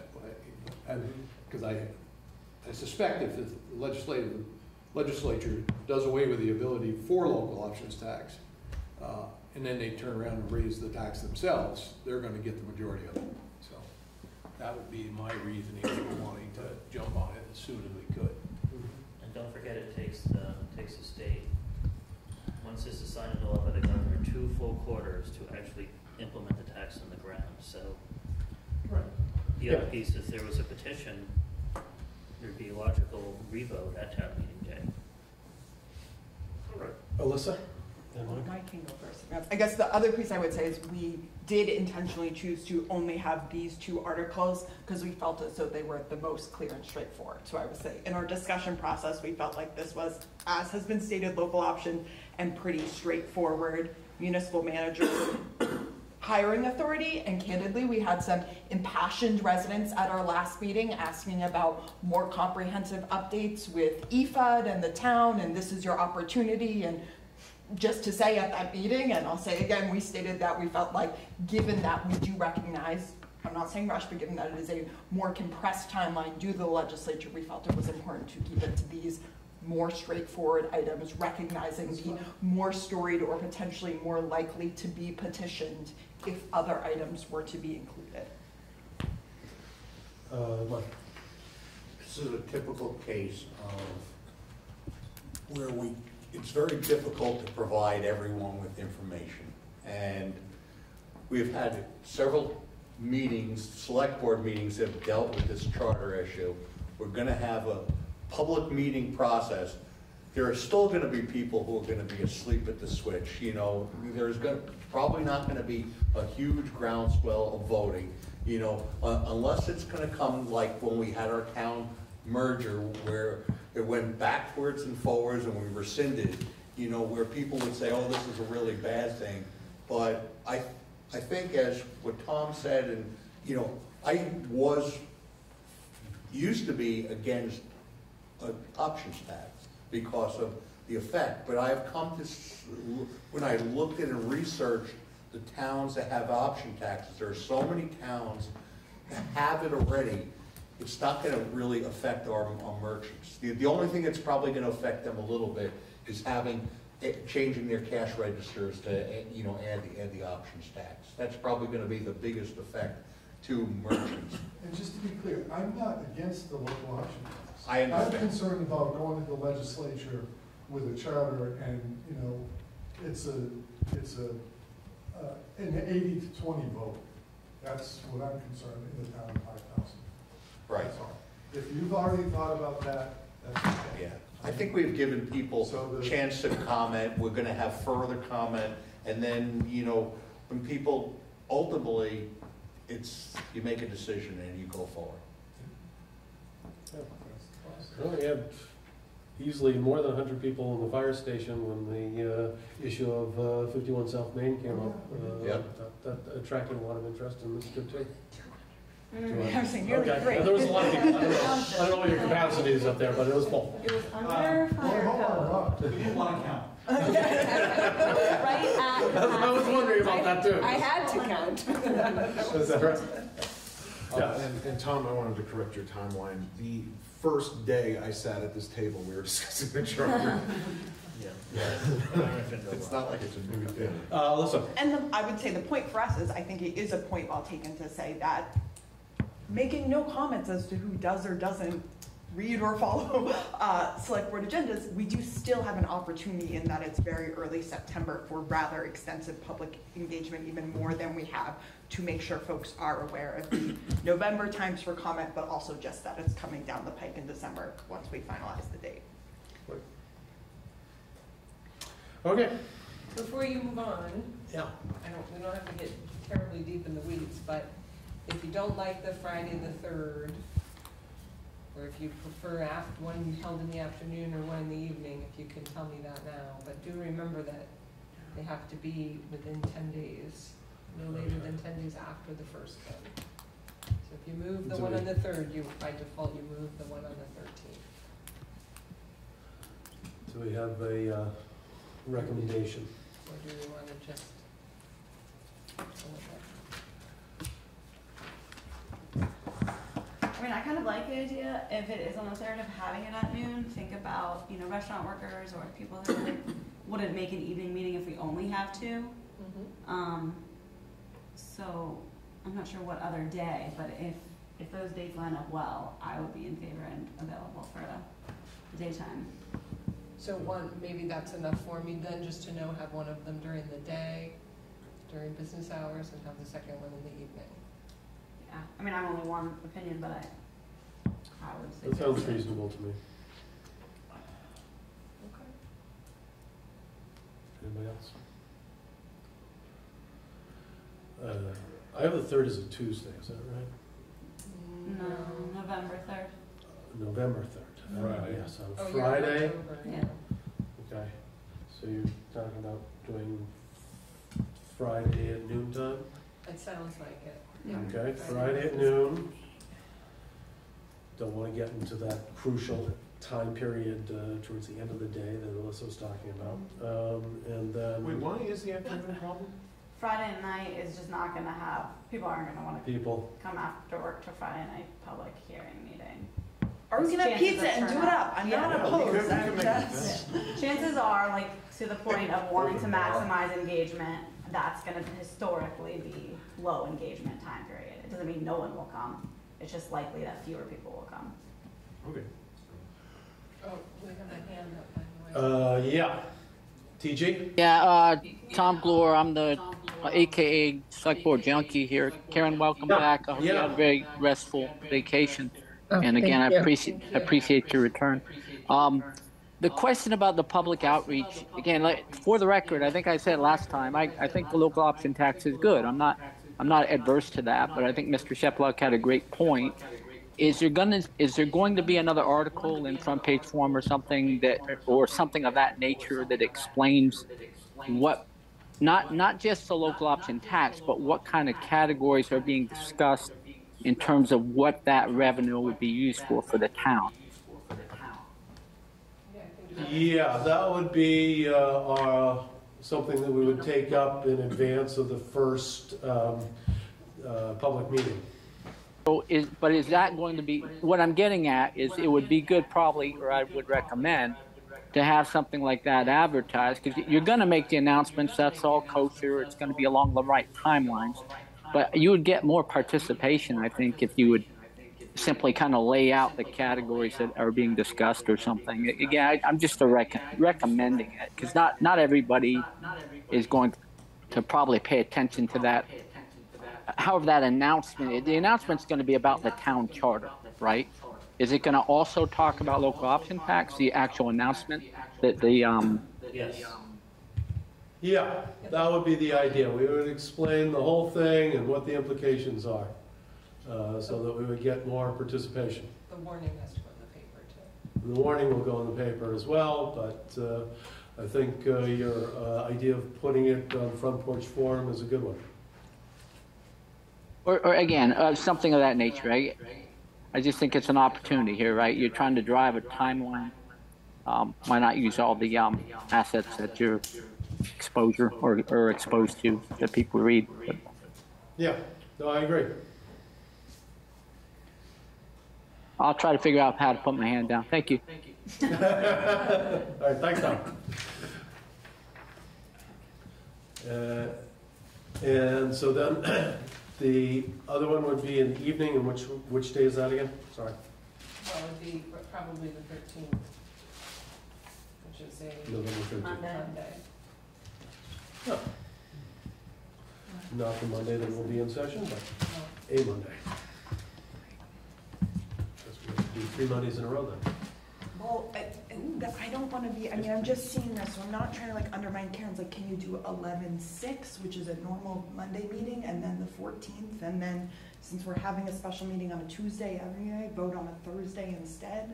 I'm not trying to backseat, No, I, uh, I know agree. Karen worked this out, I just, eh, to me, I, I haven't experienced a public meeting on a Friday in Waterbury, so I think it seems a little odd, we usually try and coincide one We of can them at have the ten beginning of a. meetings, we just have to have two of them that comply with that. Okay, so then, never mind, Right, then, great. so we can great. have can ten have- of them if we Okay. want, but two of them have have every to meet select board those meeting from criteria. now until the vote, we can, we can have it as an agenda item and take Okay. public Well, then I will let you all yeah, satisfy statute and we can do other outreach Yeah, we could put after. it as the first item on the agenda for, uh, but it has to be ten days apart, so. Well, if we we have have to satisfy that statute, but Yeah. you can talk about it at every meeting between now and December fifth. So we'll plan these two, but then still have it on the agenda for if somebody wants, if somebody wants to.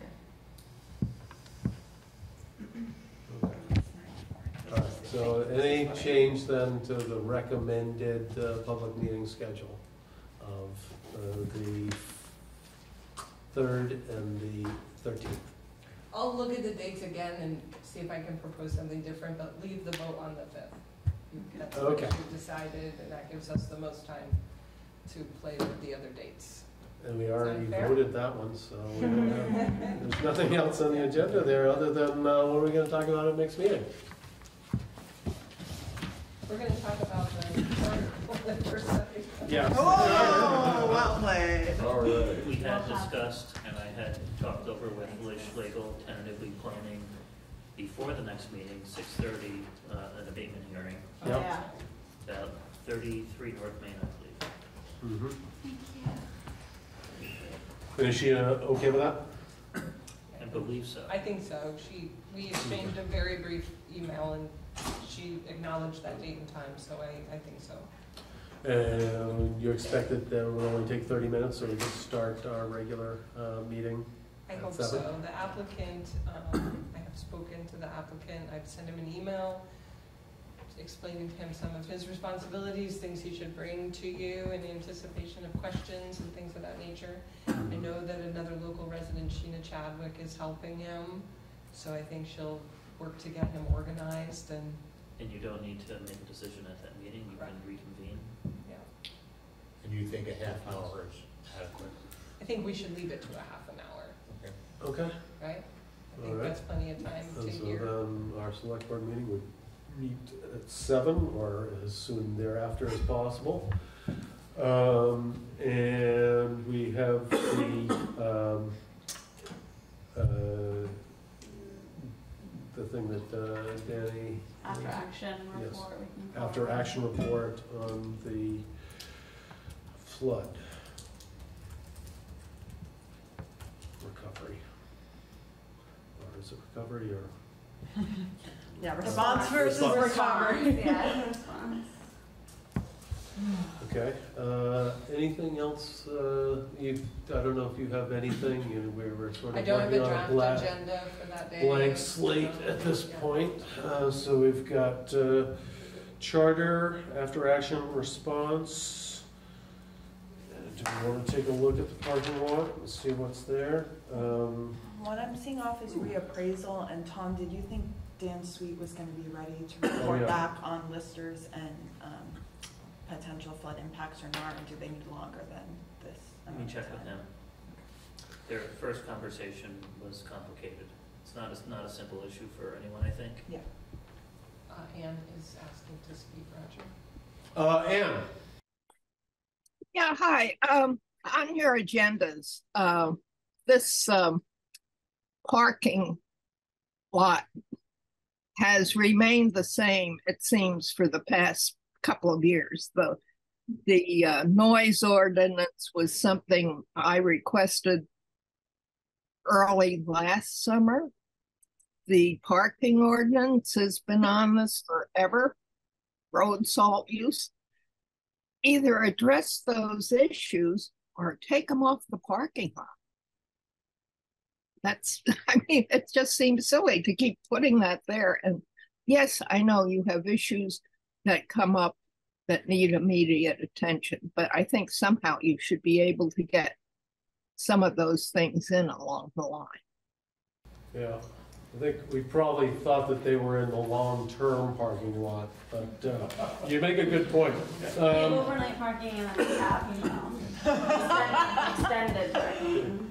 It's like at the airport. And I do think, since we have parking. what uh, looks like a fairly light agenda for the next meeting, we can actually move one of those. King, Uh, I was gonna say, we have, um, lightly visited both the noise and parking ordinances and ordinances in general, and our discussions have ended in, we don't have enforcement for those ordinances. So it would seem, um, a little premature for us to decide on those ordinances or, or rules rather, without anyone to enforce them. Yeah, Lieutenant Wynn here just the, other just an hour ago. We did discuss schedule of fees. Can we have discussed road salt use? Uh, hold on, Ann's trying to say something. Go ahead, Ann. Sorry, I didn't catch it. Just i- i- if you can't enforce them, then take them off the parking lot. Well, in the, in, in, to explain, um, as Roger kind of joked about extended parking lot, I, I think he's being serious. There are issues that matter to citizens like you, Ann, and we care about those issues. And just because we can't come up to a clear, um, concise decision or action right now doesn't mean we don't want to continue thinking about them, mulling them over, or as new opportunities arise, taking those avenues. In addition, if more folks come forward with concerns about those issues, we'll know that they're there and kind of put another tick, like, okay, maybe we need to come back to these. So um, I personally would like to leave them there, knowing that they were important enough to come up, and we just don't have a clear solution yet. And I understand it might be confusing because they're all in the same pot, and so I appreciate you asking for clarification, and hopefully that helps clarify why they stay there, and we don't just sweep them under the rug. Okay. Oh, our night, my neighbor and I brought it up. That's. yeah. It's kind of late in the season to address noise ordinance. It was mostly concerning summers because it got, We'll have another summer, turns out, next, well, I hope. All right. Might come We up missed again. one this year. Yeah. Uh, road salt use, uh, I did talk over with Tom, we're talking about bringing it up, uh, before the snow flies. So, law for light next, next time. We could bring it up, Are we ready to You- would you be ready to talk about road salt use? We've talked about it a number of times. Yeah, we've got some, we've got a little bit of data from Friends of the Winooski that I've looked at with, with Bill Woodruff a little bit. You know, in, in conversations with Bill, it really boils down to considering certain roads or even a road for a pilot program. Mm-hmm. 'Cause they Probably can't- not flush yet. You know, that, something I, I've learned is you drive around the state and you go through places and you see signs that say low road salt. And in practicality, I think that's a sign, but not actually ro- low road salt. Um, it depends on the operator following that rule. So I think we could choose a section, we could choose a road or a section of road and make it no salt. And that's easy enough to have our operators follow that. Um, that'd be pretty obvious for the public to see. Um, but the low salt doesn't seem to result in anything meaningful in, in folks I've talked with. All right. Um, adjacent to parking, we could do a more competent than my last, um, five to ten minute planning commission update. I'm just recognizing that October fifth, they're doing a walking tour of the downtown village as a first opportunity for input for updated zoning regulations. So in the spirit of having that transparently on our agenda, um, I would propose that for the next meeting. For- Okay. I'm sorry, for September? Yes, so for our September, whatever number we're at, because I think it's gonna be the next time we meet prior to the planning. Uh. September nineteenth? Yeah. It's not a, theirs is not a hearing, it's an informational thing, but that way we can talk about it. Or I guess we could the second. is that- But we'll give people advance notice. Let's throw a ten minute zoning update. Ten minutes, uh, Yeah. update And you on the don't, they zoning can't regs. meet, they're at their meeting, I did go to their last meeting last Monday. So Uh-huh. you don't need to invite anyone from the planning Okay, we commission, won't they invite can't them. make it. That Yeah. was my bad. That didn't work out. Um, And we will put on road salt use.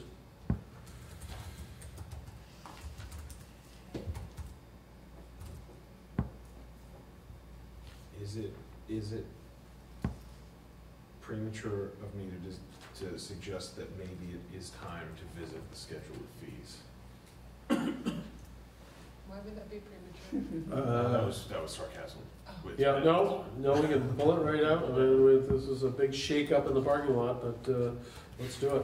Uh, Which fees? We did already amend room, this room, room use fee, right? So it's zoning, speaking of which, I mean, not to say, but a rec. I saw it in Uh, rec fees, yeah.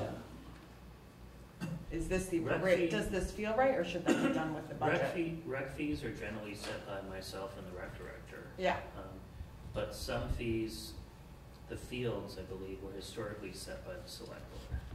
Oh, I'm sorry, yeah, I didn't mean like camp fees, I meant Right. field fees, I No, apologize, I fees. should have made that clear. got it, I was Okay. misunderstanding. Yeah, I think that'd be timely to talk about that.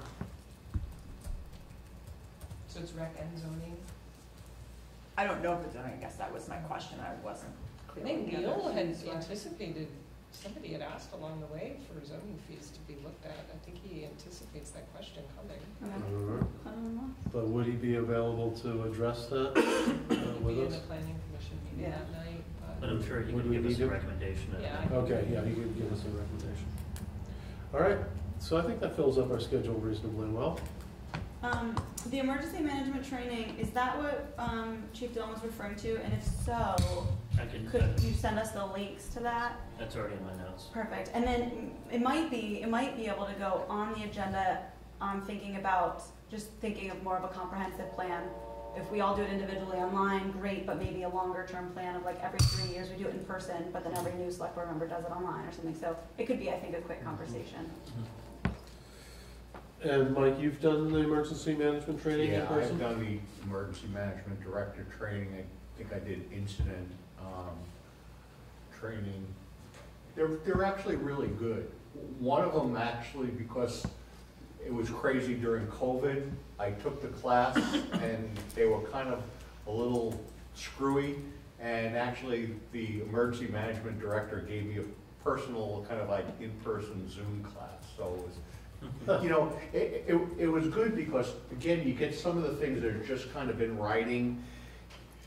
It just doesn't give you that flavor, that, you know, it's, you know, some of that stuff could be a little dry, you know, and, you know, it, it is nice. I, I wish they had more kind of these things in person. Uh-huh. I think it would, would be helpful. I think it would keep people's attention a lot more. Like your new knee, you'd be ready to go. Yeah. All right, okay, we'll throw that one into. You Oh, got that four goes on there too? Well, Yeah, it, it'll be just- short, like you could put ten minutes probably for that Yeah. one. Thank you. we'll just Karen. figure Yeah, out just, if you, available. if you go into the state emergency management site, they have the whole list of different courses and stuff like that, and they give pretty good descriptions of what they are.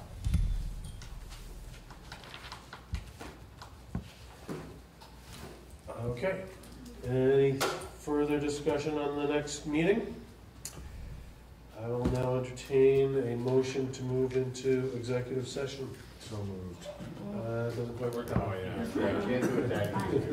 I'm gonna point to Alyssa for this one. Alyssa's got it up the top. Personnel, he could have, but you mean it's real estate, so it's, Olivia the expert on it. oh, God. Um, mo- uh, motion to find that premature public knowledge of pending real estate matters would clearly put the town of Waterbury at a substantial disadvantage. Second. All right, moved and seconded, all in favor say aye. Aye. Any opposed? Any abstentions? All right,